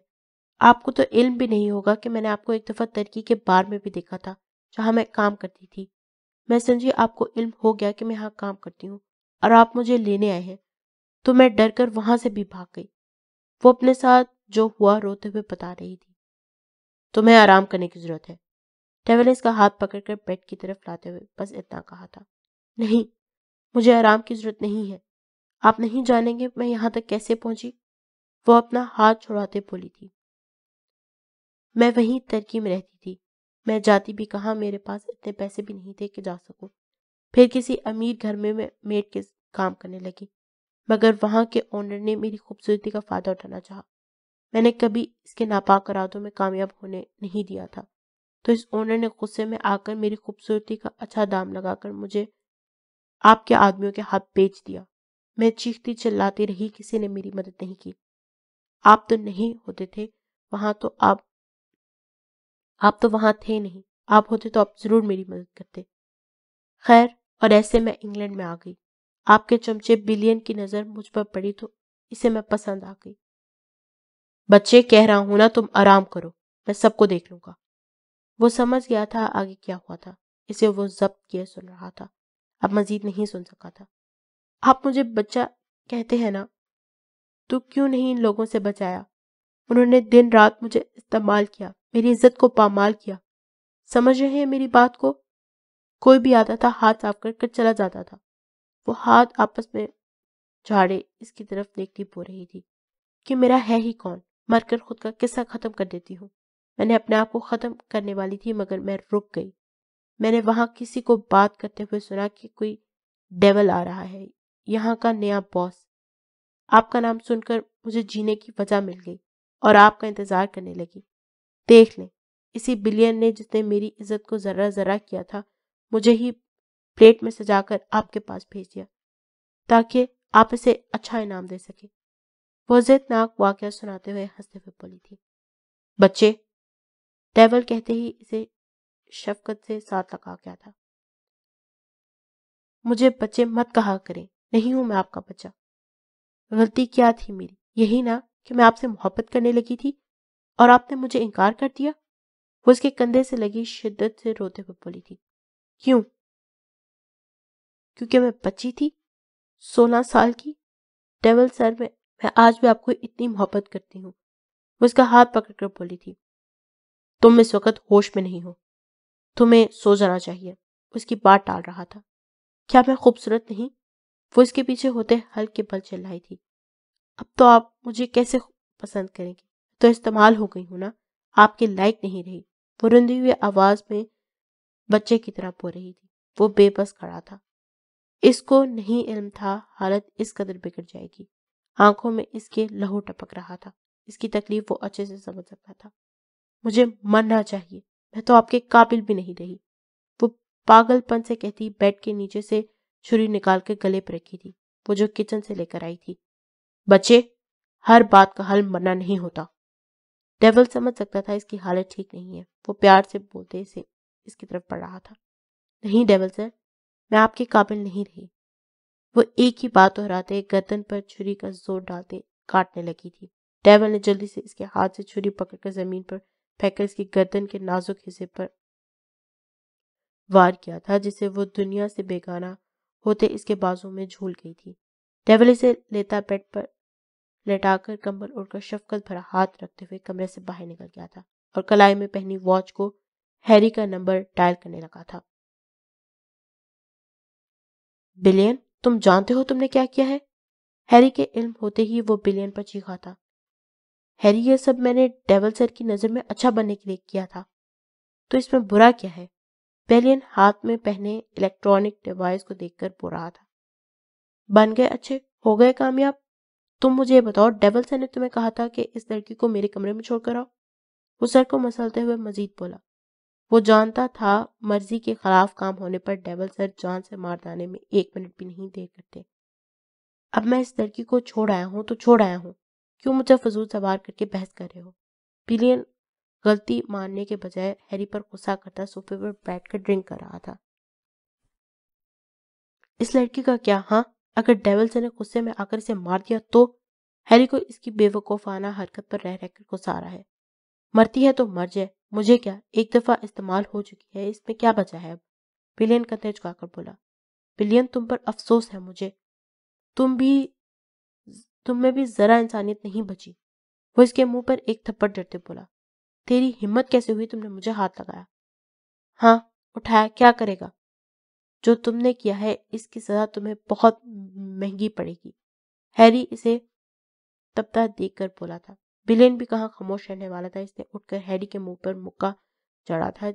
इस तरह दोनों के दरमियान ज़बरदस्त फाइट शुरू हो गई थी।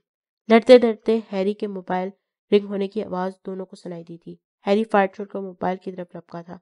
नंबर देकर वो बिलिन को जो ज़मीन पर लेटा हुआ था कच्चा बाहर जाने में नज़रों से घूर रहा था। यस डेवल सर वो आवाज़ को नॉर्मल करते बोला था। लेडी डॉक्टर को लेकर मेरे घर पहुंचो और साथ काला को भी लेकर आना डेवल कमरे से बाहर खड़े हुक्म देकर बोला था। ओके डेवल सर मैं भी लेकर पहुँचता हूँ। हैरी डेवल की बात सुनकर जवाब दे रहा था। क्या कह रहे थे डेवल सर विलियन जख्मी वजूद को उठाकर खड़ा होता पूछ रहा था, लेकिन वो कोट पहनकर कमरे से बिना जवाब दिए निकल गया था। डेवल कॉल करने के बाद बाहर ताज़ी हवा में आ गया था।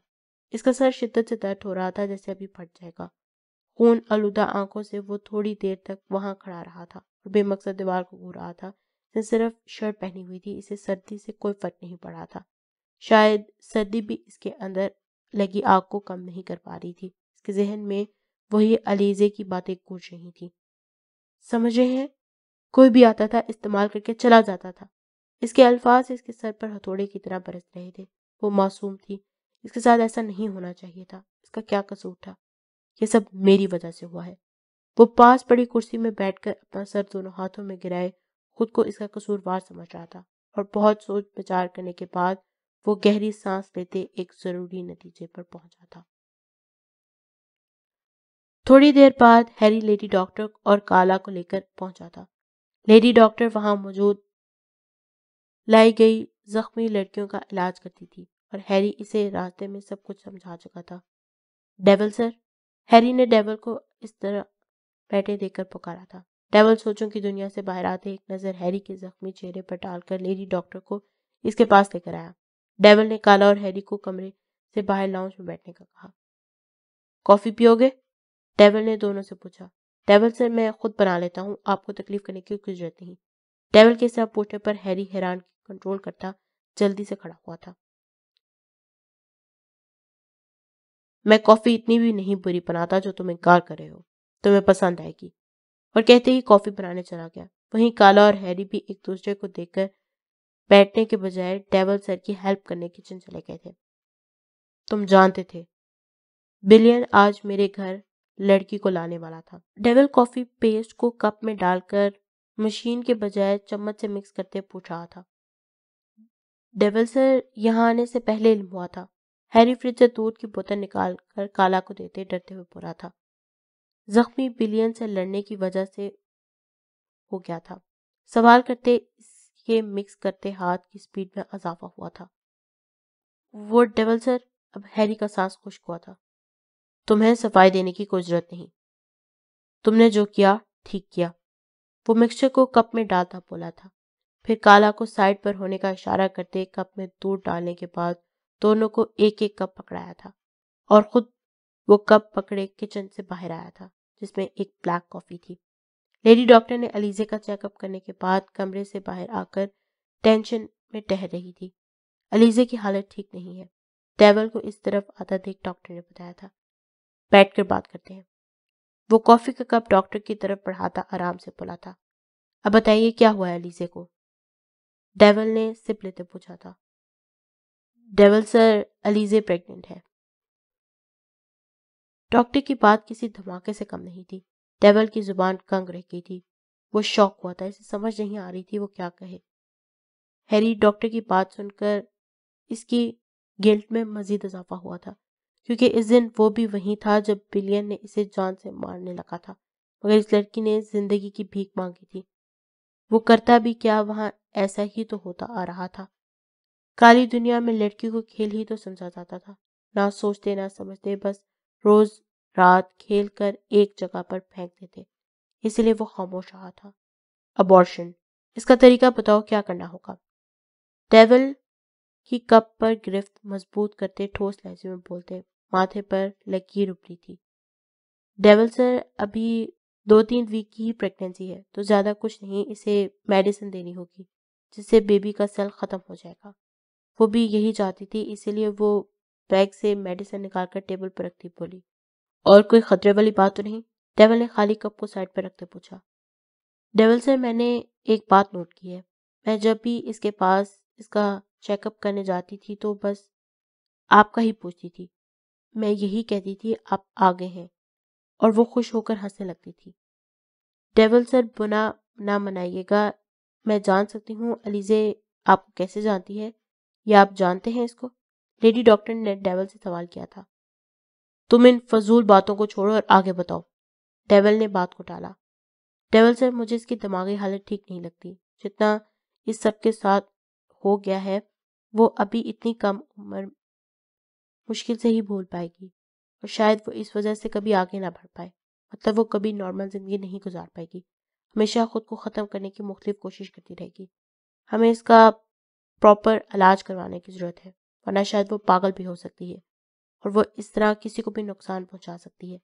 डॉक्टर ने वजाहत दी। हम्म। तो अब से इसके साथ चौबीस घंटे रहोगी तुम और इसका ख्याल रखोगी, जब तक वो ठीक नहीं हो जाती, टेबल ने फैसला सुनाया।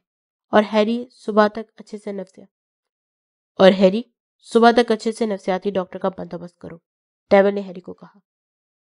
डॉक्टर तुम इसके पास जाओ और तुम दोनों मेरे पीछे आओ। टेबल हैरी और काला को अपने साथ लिए, अंदर चला गया था। अमल एक बिल्डिंग के बाहर खड़ी चारों तरफ़ नज़रें घुमाकर जायजा ले रही थी, जो देखने में बहुत खूबसूरत थी। इसका प्लान का पहला स्टेप यही था, वो पहले घर जाने के बजाय इसके ऑफ़िस जाएगी और वहाँ से आयान के बारे में ज़रूरी मालूम हासिल करेगी।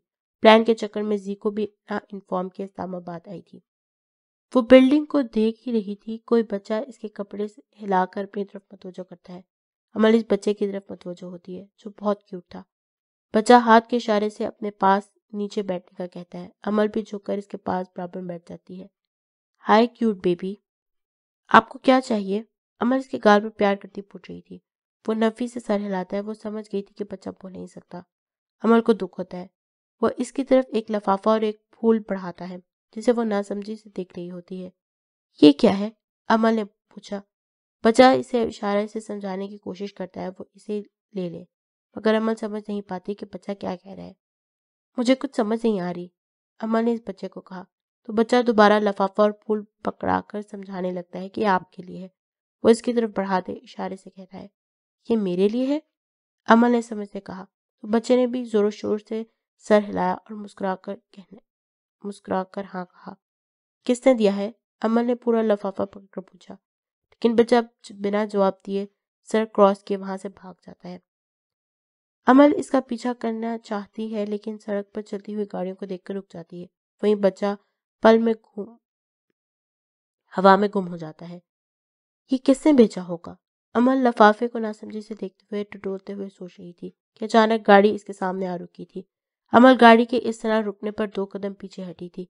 अगर पीछे ना हटती तो कोई बैद न थी, वो गाड़ी के नीचे आ सकती थी। गाड़ी से कोई शख्स नीचे उतर था और वो कोई और नहीं, जी था। जी को देखकर अमल ने वो लफाफा हैंड बैग में डाला था।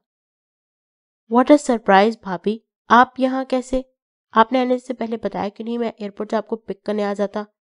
जी, शौक होता नाटक करते बुरा रहा था नूर की शादी की इतनी खुशी थी तो तुम्हें बताना ही भूल गई और सीधा इस्लामाबाद आ गई। तुम बताओ यहाँ क्या करे हो? अमल झूठ का फिर सहारा लेते बोली। भाभी लगता है आप भूल गई हैं। अयान यहाँ नहीं है तो मैं ही कंपनी संभालूँगा। बेवजह हंसता हुआ कह रहा था, ज़्यादा ओवर होने की ज़रूरत नहीं है। टेबल की आवाज़ इसके कान में गूंजी थी तो इसकी हँसी को ब्रेक लगी थी। अच्छा मैं वैसे ही कंपनी आ गई थी। अमल ने अपनी शॉल ठीक करते हुए कहा था, जो इसने यहाँ पहुँच कर ही ली थी। गाड़ी में मौजूद बैठा शख्स इसका बगौर जायजा ले रहा था। आइए ना भाभी, आप बाहर क्यों खड़ी हैं? आप ही की तो कंपनी है। अगर अयान को इल्म हुआ तो आपको बाहर खड़ा रखा हुआ है तो मुझे जान से मार देगा। जी से साथ लेते चलने का इशारा कर रहा था। अयान के ज़िक्र पर वो साथ चलने लगी थी। पीछे से जी ने गाड़ी में बैठे शख्स को इशारा करते इसे जाने का कहा था। जी, इसे साथ लिए कंपनी के कैफ़े में आ गया था। भाभी बैठिए अमल को यहाँ का बगौर जायजा लेते हुए देखकर जी इसे बैठने का कह गया था। अमल के बैठते ही जी ने दो कॉफ़ी का ऑर्डर दिया था। और बताइए भाभी, आप कैसी हैं? जी ने पूछा। मैं ठीक हूँ, तुम मेरी छोड़ो, अयान की बताओ, वो तो ठीक है ना? और कितना वक्त इसे दरकार है?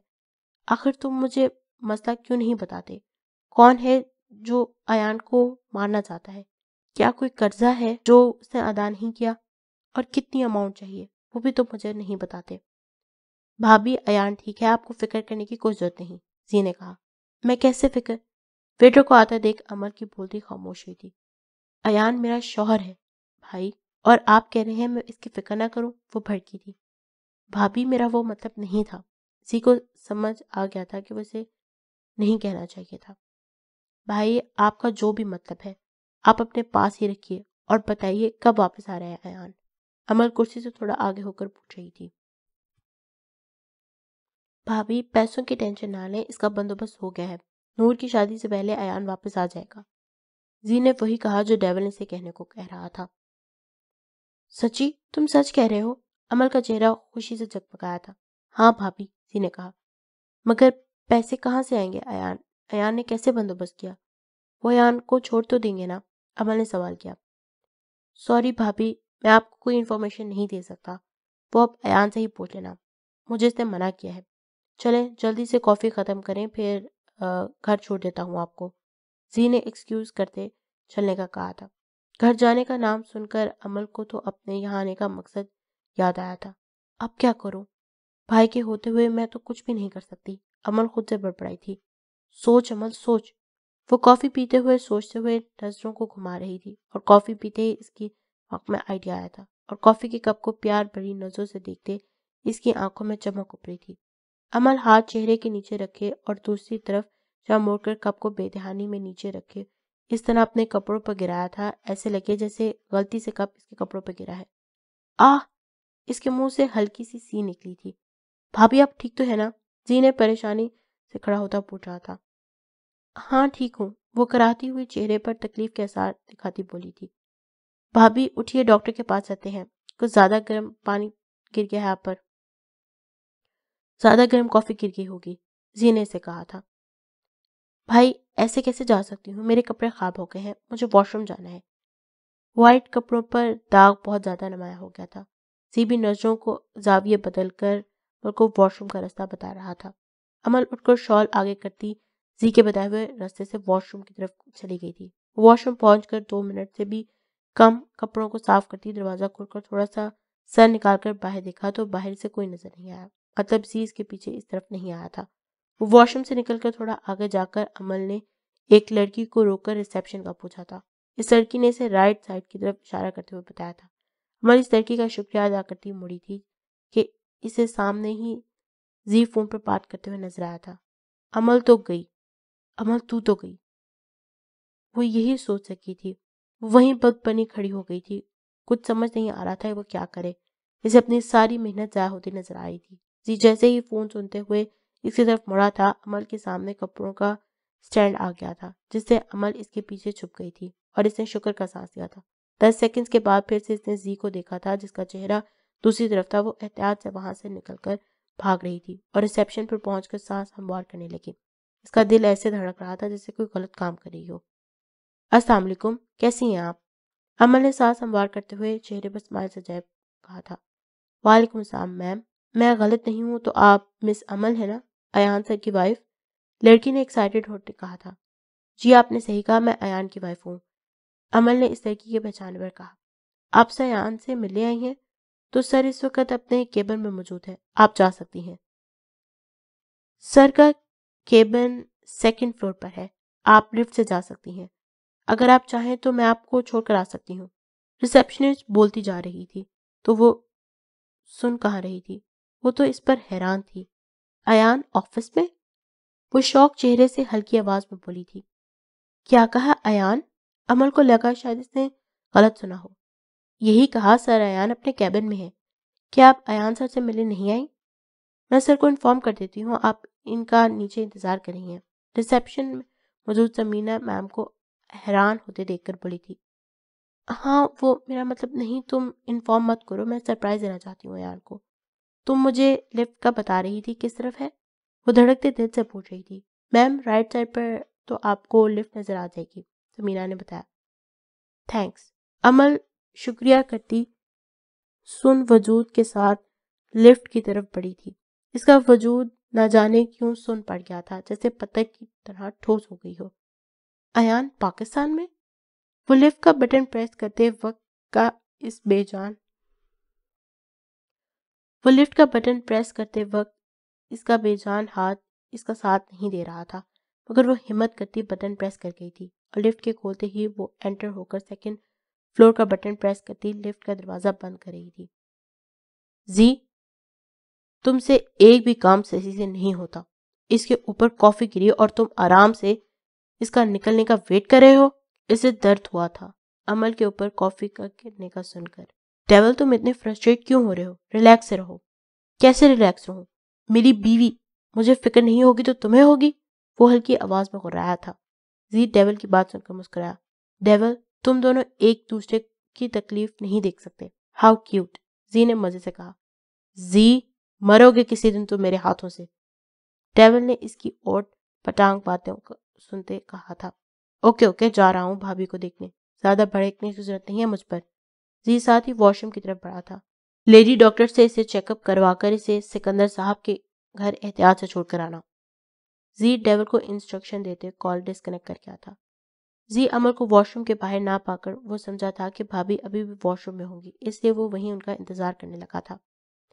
अमर लिफ्ट से बाहर आती, अपने वजूद को घसीटती हुई पड़ रही थी उसके सामने सब ऑफ़िस के लोग अपने डेस्क पर बैठे काम करने में मशरूफ थे। वो सीधी चलती हुई सुन दिमाग के साथ इसके केबन की तरफ़ बढ़ रही थी।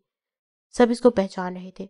पहचानते भी कैसे ना, वो पाकिस्तान के मशहूर बिजनेसमैन अयान खान की बीवी थी। अयान की सेक्रेटरी मिस अमल को यहाँ देखकर इसकी तरफ़ आई थी। हेलो मैम कैसी हैं आप? और आप यहाँ? सेक्रेटरी ने पूछा। वो अयान, अमल ने ध्यान इसकी तरफ़ करते पूछा था। अयान सर तो अपने कैबिन में है। आप मेरे साथ आए, मैं आपको सर के पास लेकर चलती हूँ सेक्रेटरी ने कहा था। अमल भी इसके कहने पर इसके साथ चल पड़ी थी। और दूसरी तरफ़ जी को वॉशरूम के बाहर खड़े दस मिनट से भी ज़्यादा वक्त हो गया था। वहाँ से निकलने वाली वर्कर इसे शक की निगाह से देखने लगी थी। कितनी लड़कियाँ वॉशरूम गई और निकल कर जा भी चुकी थी, लेकिन इसे भाभी नज़र नहीं आई। सर, आप यहाँ किसी का इंतज़ार करे हैं? वर्कर ने सर जी को वहाँ खड़े देखकर पूछा था। हाँ तुम अंदर जाकर चेक करके बता सकती हो व्हाइट कलर की लॉन्ग फ्रॉक पहनी लड़की अंदर है कि नहीं? जीने से कपड़ों का रंग बताते इसकी हेल्प मांगी थी तो वो खुद अंदर जाने ही लगा था। ओके सर, मैं चेक करती हूँ। वो लड़की वॉशरूम के अंदर चेक करने चली गई थी। नो सर अंदर तो कोई ऐसी लड़की नहीं है। लड़की ने वॉशरूम से बाहर आते इनकार किया था। जी का चेहरे का रंग बात सुनते ही उड़ने लगा था। डेवल को इल्म हुआ तो मुझे ज़िंदा ही दफन कर देगा। इसे सबसे पहले डेवल का ही ख्याल आया था। भाभी कहाँ जा सकती हैं? कहीं भाभी अयान के ऑफ़िस ना चली गई हो। जी के सोच आते ही परेशानी से माथे पर पसीने छूटने लगे थे। जी ने जल्दी से अयान का नंबर डायल करने के साथ रिसेप्शन की तरफ़ बढ़ा था। अमल को छोड़ाए हो? अयान ने कॉल पिक करते कहा। तुम कहाँ हो? वो तेज़ी से कदम उठाते बोला। मैं ऑफ़िस में हूँ। अयान के हाथ से तभी पेंट छूटकर नीचे गिरा था। क्या? मैंने तुम्हें जाने का कहा था। जी, इस पर तपा हाँ मैं जाने ही लगा था। मगर ऑफ़िस से सेक्रेटरी को कॉल करने की वजह से मुझे वापस आना पड़ा। किसी ज़रूरी फ़ाइल पर मेरे साइन चाहिए थे। मैं बस निकलने लगा हूँ। क्यों? क्या हुआ? सब ठीक तो है ना? अयान ने पेन झुककर उठाते हुए आराम से बता साथ पूछा था। जी, अयान की बात का जवाब देने के बजाय समीना के पास पहुँचा था। समीना, कोई वाइट फ्रॉक में लड़की तुम्हारे पास होकर गुजरी है क्या? जी ने बेताबी से पूछा था। सर, आप मिस अमल की बात तो नहीं कर रहे? हाँ वही। जी ने फ़ौरन कहा, मिस अमल थोड़ी देर पहले ही सर अयान के ऑफ़िस में गई हैं, समीना ने बताया। व्हाट समीना की आवाज़ कॉल की दूसरी तरफ़ अयान ने भी सुनी थी। Shit Ayaan plan B apply करो फास्ट। मेरे ऊपर आने तक सब हैंडल कर लेना। मैं जल्दी से ऊपर पहुँचता हूँ। जी लिफ्ट का बटन बार बार प्रेस करते बोला था, पर लिफ्ट ऊपर की तरफ़ जाने का साइन दे रही थी। जी लिफ्ट को छोटा सीढ़ियों के रास्ते फलांगते ऊपर पहुँच रहा था। अमल फाइनली अयान के केबिन के बाहर खड़ी थी। सेक्रेटरी अमल को केबिन के बाहर छोड़कर काम पर चली गई थी। इसने इसके नाम की प्लेट को रीड किया था। सीईओ अयान खान। अगर अयान तुम वाकई ही हो तो मैं तुम्हें कभी माफ़ नहीं करूँगी। वो हैंडल पर हाथ रखे लंबी सांस छोड़ती कैबन का दरवाज़ा खोल गई थी। कैबन खूबसूरती से सजा गया था, हर चीज़ तरतीब से मैनेज हुई थी। कोई शख्स कुर्सी का रुख दूसरी तरफ़ किए बैठा हुआ था। इसका, इसकी तरफ़ कुर्सी की बैग थी। कुर्सी का रुख दूसरी तरफ़ होने की वजह से इसे किसी का वजूद एहसास दिला रहा था। अमल का दिल पूरी तरह से धड़क रहा था। इसने जैसे ही कदम इसकी तरफ़ बढ़ाने शुरू किए थे, इसे हर कदम भारी होता लग रहा था। ऐसा लग रहा था कुर्सी का फासला मीनों का है। वो फिर भी हिम्मत करती बिना आवाज़ के कुर्सी की तरफ़ बढ़ते इसके सामने जाकर खड़ी हो गई थी। जो देखा किसी झटके से कम नहीं था, वो अयान ही था, जो व्हाइट पेंट कोट में मौजूद फ़ाइल पढ़ने में मसरूफ था। अयान? वो हल्की आवाज़ में पुकारती होंठों पर हाथ रख गई थी। इसे धचका लगा था। अयान भी फ़ाइल से सर उठाता, सामने खड़ी लड़की को ऐसे देख रहा था, जैसे इसे जानता ही ना हो। वो खड़ा होता, फ़ाइल टेबल पर रखते, कोट का बटन बंद करते, इसे रूबरू हुआ था, जो जो शौक की कैफियत में इसे ही देख रही थी। आप कौन है? और आप आप कौन है? और आप बिना बताए मेरे कैबिन में क्या कर रही हैं? वो सख्त संजीदा अंदाज बोला था। वो सुन नहीं रही थी। वो तो इसे देखने में मसरूफ थी। हेलो मिस कौन सी दुनिया में खो गई हैं आप? मैं आपसे बात कर रहा हूँ। कौन हो? यहाँ क्या करी हो? वो इसके चेहरे के सामने हाथ लहराकर बोल रहा था और अमल को मजीद झटका लगा था। वो इसे पहचानने से इनकार कर रहा था। अयान, तुम मुझे नहीं जानते? वो अपने असाब को कंट्रोल करती बोली। नो मिस मैं आपको नहीं जानता। आप हैं कौन? खुद ही बता दें। वो भी बिना देर किए बोला था। बीवी हूँ तुम्हारी, वो चिल्लाई थी, आँखों में दर्द भरा था। क्या? बीवी? मेरी तो कोई, ओ अच्छा अच्छा अब समझा। पहले वो अनजान बना और फिर बात समझ आते बोला। मेरी इंफॉर्मेशन के मुताबिक आप अयान सर की वाइफ मिस अमल है? अगर मैं गलत नहीं हूँ तो। वो माथे को सोचने के अंदाज, के अंदाजे पर छूता बोला था। अयान, क्या बकवास करे हो? कहीं तुम पागल तो नहीं हो गए हो? अमल इसकी बात पर दोनों हाथ नीचे गिराती, आँखें बड़े करते बोली थी, मैं क्यों पागल हूँगा? यही तो कह रहा हूँ, आप सर अयान की वाइफ है। क्या आप सर अयान की वाइफ नहीं है? इसे अमल से सवाल किया हाँ मैं ही अयान की वाइफ हूँ, तुम ही तो अयान हो। तुम तो ऐसे कह रहे हो, मैं अयान सर की वाइफ हूँ। अमल ने इसकी दिमागी हालत पर शुबा हुआ था, मैं अयान नहीं हूँ, ना आप मेरी वाइफ है। वो साफ़ इनकार करते पीछे हुआ था। क्या मतलब है तुम्हारी बात का कि तुम अयान नहीं हो? तुम ही तो अयान हो और कौन खुद को झुटलाता है? क्यों मुझे पागल बना रहे हो? देखिए मिस, मैं अयान ज़रूर हूँ, लेकिन वो अयान नहीं हूँ। वो इसे समझाने लगा। अमल इसकी बात पर मजीद उलझी थी। अयान, मुझे इल्म है, तुम मुझसे इस रात वाले हादसे से नाराज़ हो। मुझे नहीं जाना चाहिए था बाहर। छोड़ो इस बात को। पाकिस्तान कब आए और तुम ठीक तो हो? वो अयान की बात को इग्नोर करते बोली थी। एक बात यह भी सच थी, वो गुस्से होने की वजह साथ वो खुश भी हुई थी, इसे यहाँ देखकर। मिस देखें मैं अयान नहीं हूँ, समझ रही हैं आप? मैं अयान नहीं हूँ। वो बात पर ज़ोर देता बोला था। तो मुझे ठीक नहीं लग रहे तुम्हें डॉक्टर की ज़रूरत है अयान कौन खुद को झटलाता है? तुम तो नहीं हो। अमल खुद को इसकी बातों से कंफ्यूज हो गई थी। मैं वो अयान नहीं हूँ। मैं आपसे कह रहा हूँ, आप समझ क्यों नहीं रही हैं? आप जो मुझे समझ रही हैं, मैं वो नहीं हूँ। वो आखिरी दफ़ा समझाते बोला था। अयान, तुमने मुझे पागल करने का क्या सोचा हुआ है? वो सपाट लहजे से बोली, मैं बताता हूँ। जी, हाँपता हुआ केबन में दाखिल हुआ था। वो फ़र्स्ट फ्लोर से सेकंड लास्ट फ्लोर पर आया था। और दोनों जी को लड़ता दोनों को जी लड़ता हुआ देखकर हाँपते हुए बोला था, भाई, अयान पागल हो गया है। कैसी बहकी बहकी बातें कर रहा है? अमल जी के पास आती जिज होते बोली थी, भाभी, रुकिए, मुझे सांस और हमवार करने दे। अयान ने इसे पानी का गिलास बढ़ाया। जी कुर्सी पर बैठकर पानी पीने लगा। अमल वहीं साइड पर खड़ी अयान को घूर रही थी, जैसे अभी जान से मार देगी। और अयान भी इसे देखकर मुस्कुरा रहा था। भाई, अब बता भी थे ये क्या हो रहा है? अमल जी को ना बोलने पर बोली थी। भाभी, ये सच कह रहा है, ये अयान नहीं है। जी ने ग्लास नीचे रखते बोला। भाई, लगता है आप भी पागल हो गए हैं और आप दोनों ने कसम खाई है कि साथ मुझे भी पागल करना है। मैं जा रही हूँ यहाँ से। मजीद यहाँ रुकूँगी तो मैं वाकई में पागल हो जाऊँगी। गुस्से से बोलती बाहर चली गई थी। भाभी, रुकिए। एक दफ़ा बस एक दफ़ा प्लीज़ बैठकर सुकून से हमारी बात सुन लीजिए। फिर अगर आप जाना चाहती हैं तो मैं खुद आपको छोड़ाऊँगा। प्लीज़ भाभी, जी ने रिक्वेस्ट करते कहा। अमल जी की रिक्वेस्ट करने पर इसके सामने वाली कुर्सी पर जाकर बैठ गई थी। भाई, दस मिनट है आपके पास और बिल्कुल सच कहिएगा, वरना मैं आप दोनों का सर फाड़ कर चली जाऊँगी। भड़कती बोली, वाह भा, क्या किस्मत है आपकी। अमल को इस तरह न डर बात करते देखकर अयान भा की किस्मत पर रश कर रहा था। भाभी, आपको तो इल्म है अयान इंग्लैंड में जिस मुश्किल में है। यहाँ किसी को इल्म ना हो पाए, वो किस मुश्किल से गुजर रहा है इसलिए हमने एक प्लान बनाया। कैसा प्लान भाई? अमल ने पूछा। भाभी, जैसे कि अयान पाकिस्तान का मशहूर बिजनेसमैन होने के साथ साथ न्यूज़ चैनल वालों के लिए कितना अहम है तो ये तो सब जानते हैं। अयान की कोई भी खबर हो आग की तरह न्यूज़ वाले फैलाते हैं। इसलिए हमने ये हल निकाला है ताकि अयान की रेपुटेशन ख़राब हो और ना ही किसी को इल्म होगा। और हमने इस शख्स को अयान का किरदार अदा करने का काम दिया है। वाह जी साहब, क्या झूठ बोलते हो। अयान इसकी टर चलती ज़ुबान से इतना साफ़ झूठ सुनकर सोच सका था।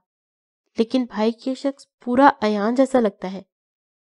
इसमें और अयान में एक फ़ीसद भी फ़र्क नहीं लगता। अमल इसकी हम शक्ल को देखते हुए परेशान हुई बोली थी।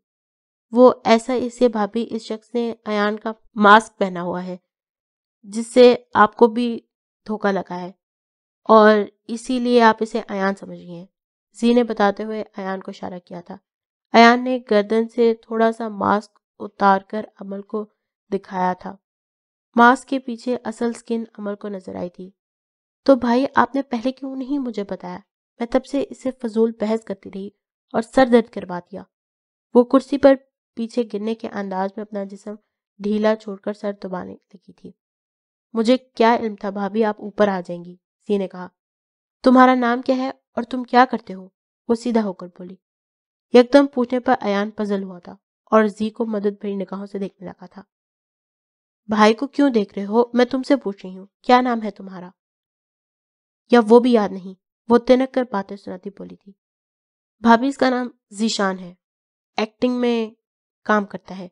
इसलिए तो अयान का अच्छा किरदार अदा कर रहा है, जिससे आपको शक न हो। जी ने तफसील बताई। अयान जी के झूठ बोलने पर अश अश कर उठा था। दिल किया एक सलाम पेश करे इस मशहूर हस्ती को एक्टिंग अयान जी को ज़बरदस्त घुरी नवाज़ से सोच रहा था। जी इसके घूरने पर इग्नोर कर रहा था। भाभी चले या यहीं रुकने का इरादा है? सी ने पूछा। एक बात का जवाब दो। थोड़ी देर पहले तुमने झूठ कहा था कि अयान नूर की शादी पर आएगा। अमल ने इससे सवाल किया। नहीं भाभी, वो जी ने बनाना, बहाना बनाना चाहा। भाई, सच बताइए। हाँ भाभी, पैसों का इंतज़ाम तो हो गया, बस थोड़ा सा इंतज़ार करना रहता है। आप फ़िक्र ना करें, जैसे ही हो जाएगा, अयान भी वापस आ जाएगा। जी की ज़ुबान झूठ बोलते बोलते दर्द करने लगी थी। उसका चेहरा फिर से मुझा गया था। और थैंक्स नाटक कंपनी अयान की इज़्ज़त को बरकरार रखने के लिए। अमल जाने के लिए खड़ी होती बोली थी और वो जी के साथ बाहर चली गई थी। सीरियसली नाटक कंपनी वो इस यूनिक नाम पर इसके होंठ खुद ब खुद मुस्कराए थे। डेवल सर माफ़ करते, गलती हो गई। बिलियन चीखते चिल्लाते, दर्द से कराहते बोला था। डेवल इसकी बात कौन सुना करता दूसरे लड़कों को सजा देने में मशरूफ था। डेवल सर बात तो सुने। बिलियन मिनटों पर आ गया था। इसे नज़र आ गया था, इसकी मौत इसके सामने थी। जिन जिन लड़कों ने इसके साथ ज़्यादा की थी डेवल ने इन्हें दरख्त के साथ दोनों हाथ और पाँव पर कील ठोक कर लटका दिया था। सब लड़कों की दर्द से रहने की आवाज़ें जंगल में रात के वक्त और खौफनाक मंजर को बयान कर रही थी। कोई भी इनकी आवाज़ नहीं सुन सकता था। वो जंगल के दरमियान में थे जहाँ कोई इंसान, कोई जानवर कोई भी नहीं आ सकता था। डेवल सब लड़कों को लटका कर बिलियन की तरफ़ आते हैरी को इशारा किया था, जिसको दरख्त के साथ रस्सियों से बांधा गया था। हैरी डेवल का सर इशारा समझते बिलियन की रस्सियाँ खोलने लगा था। रस्सियाँ खुलते ही वो रोते, लड़खड़ाते हुए डेवल के कदमों में गिर गिर कर माफ़ी मांगने लगा था। डेवल सर माफ़ कर दे, आप जो कहेगा हम वही करेगा। कभी आपका हुक्म नहीं टालूँगा, बिलियन ज़िंदगी की भीख मांग रहा था।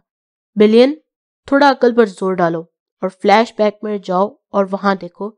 ऐसे जैसे तुम मेरे कदमों में गिरकर ज़िंदगी की भीख मांग रहे हो, वैसे ही वो लड़की तुम्हारे आगे गिर गिर कर ज़िंदगी की भीख मांग रही थी। डेविल ने कहते ही शिद्दत, शदीद गुस्से से पाँव की ठोकर इसको मारी थी। तो तुझे जिसम नोचने का बहुत शौक है ना? डेविल इसके पास बैठकर इसका मुँह जकड़ कर बोला था। सोच। जब तेरा जिसम कोई नोचेगा तो तुझे कैसा महसूस होगा? डेविल की बात पर वो ठटका था।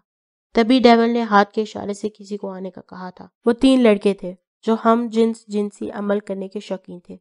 बिलियन इनको देखकर बुरी तरह कामता हुआ नफ़ी में सर हिला रहा था। वो इन लड़कों की नज़रों का मफहम समझ चुका था।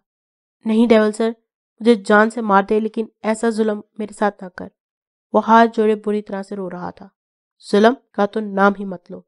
तुमने जो बच्ची के साथ जुल्म किया है, इसके मुकाबले मेरे नज़दीक ये बहुत कम है। डेवल डेवल खून आलूद आँखों से देखता उठ खड़ा हुआ था। बिलियन ने डेवल को टांगों से पकड़ लिया था। डेवल इसे झटका देता, टांगे छुड़वाकर लड़कों को ऑर्डर देता, खुद हैरी और काला के साथ जंगल से निकलने लगा था। थोड़े फासले पर जाने पर ही बिलियन की दर्दनाक आवाज़ें किस समातों से टकराई थी। डेवल सर, हैरी नवाजों पर जितना गौर करोगे, इतना ही तुम्हें दुख होगा।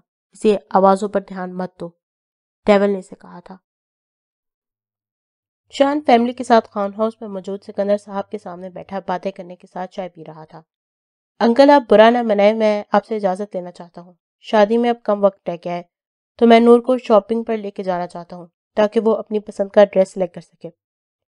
शाद ने मेन बात पर आते कहा। शान के पूछने पर खामोशी छाई थी। बेटा, हमारे यहाँ बेटियों को बाहर जाने की इजाज़त नहीं है। अगर जाए भी तो भाई बाप या शोहर के साथ ही बाहर जाती है। सिकंदर साहब ने नर्म लहजे में साफ़ इनकार करते कहा था। अंकल, मैं तो नूर का होने वाला शोहर हूँ। शान ने बात करते वक्त लहजा थोड़ा सख्त किया था। शोहर बनने वाले हो, अभी होए नहीं, और हम अपनी बहन को तुम्हारे साथ नहीं भेजेंगे। सयाम ने शान को दो टोक लहजे में कहा था। सिकंदर, इसमें बुराई भी क्या है? जमाना बदल गया है। शान बहू को शॉपिंग पर ही तो लेके जाना चाहता है। और वैसे भी नूर इसकी होने वाली बीवी है।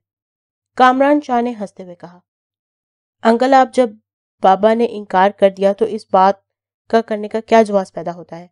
सयाम तबते बोला था, सयाम, मैं अभी ज़िंदा हूँ फैसला करने के लिए, तुम्हें बोलने की ज़रूरत नहीं है। सिकंदर साहब ने सयाम को सख्ती से कहा, लेकिन पापा सयाम ने बोलना चाहा। सिकंदर साहब ने हाथ के इशारे से रोक दिया।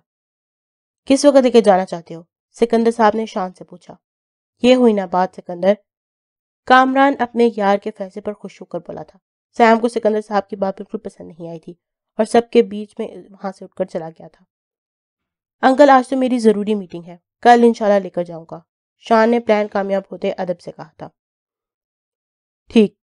तुम लोगों के साथ हमारी बहू आयत भी जाएगी। सिकंदर साहब ने हुक्म दिया था। अंकल, आयत भाभी? मतलब आपको मुझ पर यकीन है इसलिए आप भाभी को साथ भेज रहे हैं। शान को यकीन नहीं आ रहा था, ऐसा भी होगा। नहीं बेटा, यकीन की बात नहीं। अगर यकीन ना होता तो इजाज़त ही ना देता आपको। आयत को भी शॉपिंग करनी थी, मगर सयाम को कल ज़रूरी मीटिंग के लिए शहर से बाहर जाना पड़ सकता है। इसीलिए शादी में दिन बहुत कम रह गए हैं। तुम दोनों इसको भी ले जाना। सिकंदर साहब ने वजाहत देते कहा था। शान अब इनकार भी नहीं कर सकता था। अगर मजीद बोलता तो इन सबको इस पर शक हो जाना था। और वो ऐसा नहीं चाहता था, इसलिए हामी भरते खामोश हो गया डॉक्टर ने तुम्हें रेस्ट करने को कहा है, और तुम यहाँ सर्दी में क्यों खड़ी हो? डेवन ने इसे गार्डन में गुमसुम खड़ी देखते पूछा था, जो होश में आने के बाद बिल्कुल खामोश हो गई थी। वो काम से बाहर जाने लगा था, इसे इस तरफ़ खड़ी देख कर आया था। अंदर घुटन हो रही थी, इसलिए ताजी हवा में आ गई। वो वैसे ही गुमसुम हाथ बांधे हुए बोली थी। बच्चे, तुम ठीक तो हो? डेवल को सच में इसकी फ़िक्र हुई थी। इसे छोटे बच्चों की तरह ट्रीट कर रहा था। ज़िंदा हूँ, काफ़ी नहीं, वो तल्ख हो रही थी। बच्चे, मानता हूँ वो सब भुलाना तुम्हारे लिए मुश्किल तरीन काम है।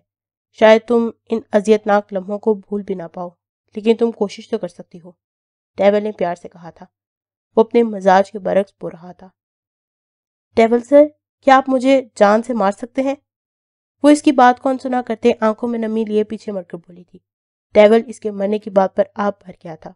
वो गुस्से से काम नहीं ले सकता था। इसे तहमुल से इससे बात करनी थी। वो इसकी दिमागी हालत को जानता था। डेवल सर प्लीज़ मैं मरना चाहती हूँ। मुझे ज़िंदा रहना का कोई हक नहीं है। डेवल सर मुझे खुद के वजूद से घिन आती है। मुझे सुकून की नींद नहीं आती। ख्वाबों में भी वही अजियत भरे लम्हे आते हैं। मुझे इस अजियत को नहीं सहना। मैं पागल हो रही हूँ डेवल सर वो बालों को खींचते रोती हुई बता रही थी।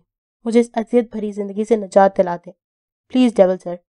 वो बोलते हुए डेवल के सामने अपने हाथ जोड़ गई थी। एक दफ़ा फिर वो आउट ऑफ़ कंट्रोल होने लगी थी। डेवल इसकी हालत देखकर तकलीफ़ हुई थी। बच्चे, मैं समझता हूँ तुम्हें। नहीं डेवल सर, आप नहीं समझते कुछ भी। और ना ही आप समझ सकते हैं। अगर समझते तो कभी इनकार ना करते, मुझे कबूल कर लेते। मैं किस अजियत और बेबसी से गुजर रही हूँ, बस मैं ही जानती हूँ। वो फिर से इसे अपना कहने लगी थी। मैं समझता हूँ बच्चे। वो आराम से बोलते अलीजे की कलाई को थामते हुए डिवाइजर का बटन प्रेस करते कलाई को छोड़ गया था। डेवल सर, मुझे आपके साथ की ज़रूरत है। क्या आप मुझे कबूल नहीं कर सकते? मैं आपसे बहुत मोहब्बत करूँगी, मैं ठीक भी हो जाऊँगी। वो डेवल के इस तरह कलाई पकड़ने पर मोहब्बत भरी निगाहों से देखते बोलती, इसके करीब आई थी। बच्चे, जो तुम चाहती हो वो कभी नहीं हो सकता। वो इसे करीब आता देखकर दो कदम पीछे होकर तहमुल का मुजाहरा दिखाते हुए सच बोल रहा था। वो इसे कोई भी उम्मीद नहीं देना चाहता था। इसीलिए कि मैं आपके काबिल नहीं, या आप इतना जर्फ नहीं रखते मुझे अपना सकें। वो मजीद तलखी से बोलती पास पड़े मेज पर ज़ोर से हाथ मार था, मगर टूटा नहीं था। मेज शीशे का होने की वजह से, इसका हाथ नोक पर लगने की वजह से थोड़ा सा जख्मी हुआ था और वहाँ से खून बहना शुरू हो गया था। इसे फिर से दौड़ा पड़ा था। देवल, इसका पागलपन दुख भरी निगाहों से देख रहा था। इसे इसे ऐसा करने से नहीं रोका था। वो चाहता था वो अपने अंदर का गुस्सा निकाल ले। वो गार्डन में मौजूद हर चीज़ को उठाकर नीचे फेंकते हुए साथ बो रही थी। वो इससे मोहब्बत करती है। वो अनजान बड़ा खड़ा लेडी डॉक्टर के आने का इंतज़ार कर रहा था और सामने साथी लेडी डॉक्टर और नर्स को देखकर वो सुर्ख आँखों पर ग्लासेस लगाते कार की तरफ़ बढ़ गया था और वापस ना आने के लिए चला गया था। वो समझ गया था कि वो उसके पास यहाँ रहेगा तो वो मजीद इसकी हालत में खराबी होगी। छोड़ो मुझे। मुझे कहीं नहीं जाना। डेवल सर, रुकिए। Please Deval sir. कार में बैठकर इसकी दर्द भरी आवाज़ को बमुश्किल इग्नोर करते काला को कार चलाने का कहा था। आंटी, बस, मैं और नहीं खा सकती, मेरा पेट भर गया है। अमल ने एहतजाज करते खाने से हाथ पीछे किया था। ऐसे कैसे मेरी बच्ची? अभी खाया ही क्या है? चिड़िया जितना खाना खाती हो तुम, और खीर तो तुमने खाई तक नहीं। मैंने इतने प्यार से तुम्हारे लिए बनाई थी। तुम्हें इल्म है, अयान को खीर बहुत पसंद है, तुम्हें भी बहुत पसंद आएगी। सकीना बेगम ने अमल के के आगे खीर की प्याली रखते हुए कहा था। अमल ने आयत और नूर को आज भरी निगाहों से देखा था। अमल जब से घर आई थी, सकीना बेगम इसका बहुत ख्याल रखी थी, बिल्कुल सगी माँ की तरह। दोनों ने ही इसके इशारे को इग्नोर कर दिया था, जैसे कह रही हो, तुम और तुम्हारी सास जाने। दोनों को इस तरह करने से अमल ने खा जाने वाली नज़रों से घूरा था। मामा बस करते हैं, भाभी शादी तक तो यही है ना, फिर जितना मर्ज़ी खिला देगा। सयाम ने कहा था। सयाम को अपनी छोटी सी भाभी पर तरस आ गया था। अमल ने थैंक्स भाई निकाहों से सयाम को भी देखा था। चलो, कोई तो है जिसने इसका एहसास किया। शादी तक क्यों? अब मैं अपनी बच्ची को कहीं नहीं जाने दूँगी। इस घर की बड़ी बहू है और यहीं रहेगी। और देखना अमल, अयान भी तुम्हारे पीछे पीछे घर आ जाएगा। फिर हम सब खुशी खुशी रहेंगे। सकीना बेगम अमल को खुशी के साथ बताती आँखों में नमी भर गई थी। बेटे की जुदाई का गम चेहरे पर साफ़ झलक रहा था। सिकंदर साहब किसी काम से बाहर गए हुए थे इसकी वजह से सकीना बेगम बिना डर के अयान का ज़िक्र कर रही थी। इनशाला मामा, आप क्यों फ़िक्र करती हैं? एक दिन ज़रूर ऐसा होगा जब भाई कुछ, सब कुछ भुलाकर हमारे साथ रहेंगे। सयाम जगह से खड़ा होता सकीना बेगम को साथ लगाते बोला था।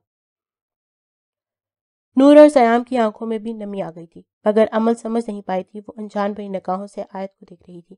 आयत ने आँख के इशारे से बाद में बताने का कहा था। आंटी ने मुझे कितना खिला दिया है, ऐसा महसूस हो रहा है, अभी मेरा पेट फट जाएगा। वो नूर के कमरे में चक्कर लगाती पेट पर हाथ रखते दबाते पो रही थी।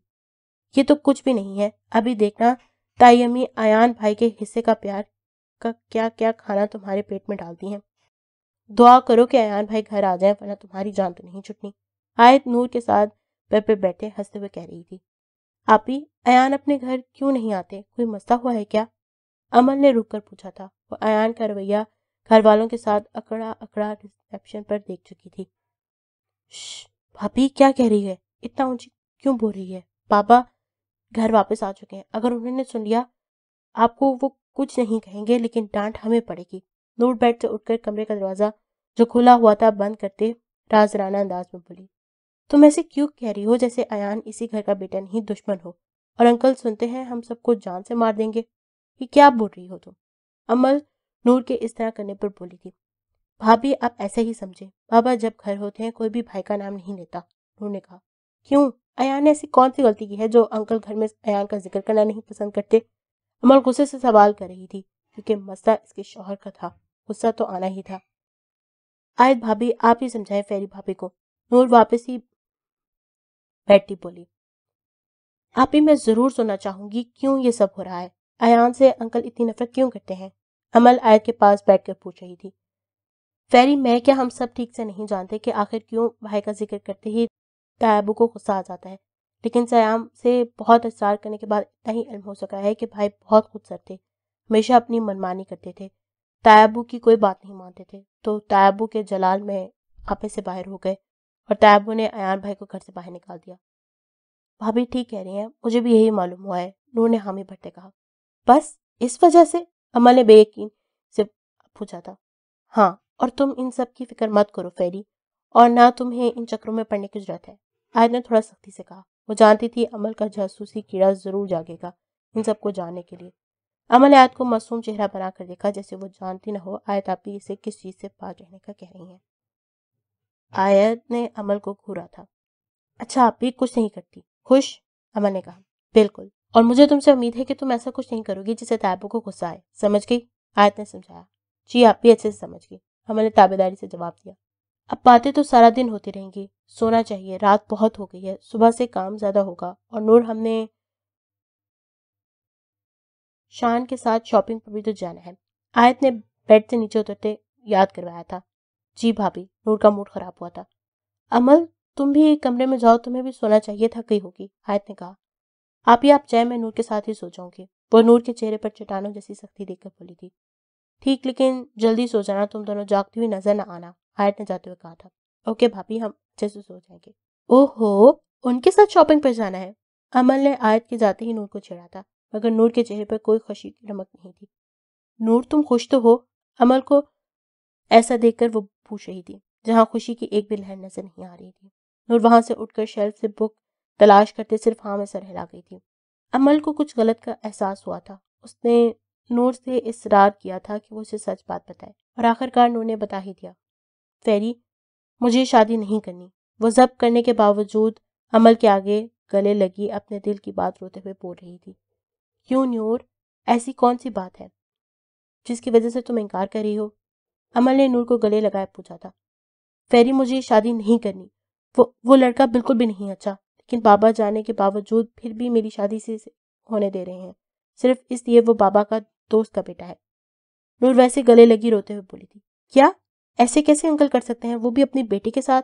और सयाम भाई ने इनकार नहीं किया? अमल के लिए किसी शौक से कम नहीं था। मैं नहीं जानती फेरी पापा क्यों कर रहे हैं? पापा ने सयाम भाई की बात भी नहीं सुनी। मेरी कहाँ सुनते? मुझे तो इनकार करने का हक भी नहीं है। मैं इनकार कर सकूँ? बस फैसला सुना दिया क्या? अगर यहाँ अयान भाई होते तो कभी भी मेरी शादी ऐसे इंसान से नहीं होने देते। वो रोते हुए बोल रही थी। अमल ने इसे रोने दिया था ताकि इसका दिल हल्का हो जाए। अयान, नहीं तो क्या? मैं तो हूँ ना। मैं कभी भी तुम्हारे साथ बुरा नहीं होने दूँगी।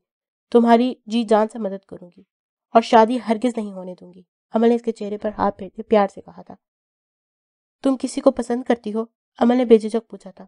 नहीं तो? वो इसका हाथ पीछे करती नज़र चुरा रही थी। लेकिन मुझे ऐसा महसूस हो रहा है तुम किसी को बेपना चाहती हो। फेरी, बस ये मत पूछो कि मैं किसको पसंद करती हूँ। मगर प्लीज़ ये शादी होने से रुकवा दो, फेरी। मैं शान से शादी नहीं कर सकती। अगर मैं शयान से शादी नहीं कर सकती, वो अच्छा इंसान नहीं है। अगर अच्छा होता तो कभी इनकार ना करती। नूर ने साफ़ इनकार किया था। वो कौन है नूर? अमल ने इसकी बात को अनसुना करते प्यार से पूछा था। अमल के इस तरह पूछने पर खामोशी से रोती वो इसे पत्थर दिल के बारे में नहीं बताना चाहती थी। नूर तुम बताओ ना।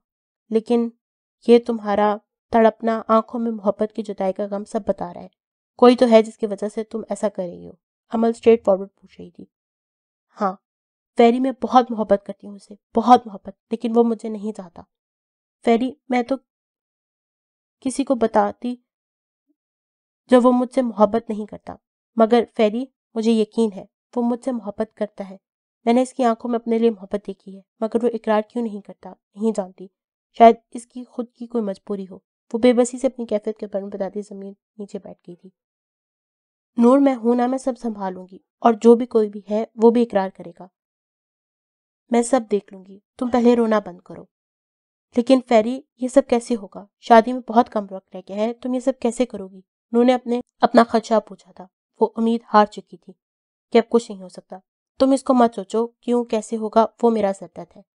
और ना तुम, और ना तुम अभी इसके बारे में सोचो, जो तुमसे मोहब्बत करता है या नहीं। बड़ी वजह भी ये है कि तुम ये शादी नहीं करना चाहती, और वही होगा।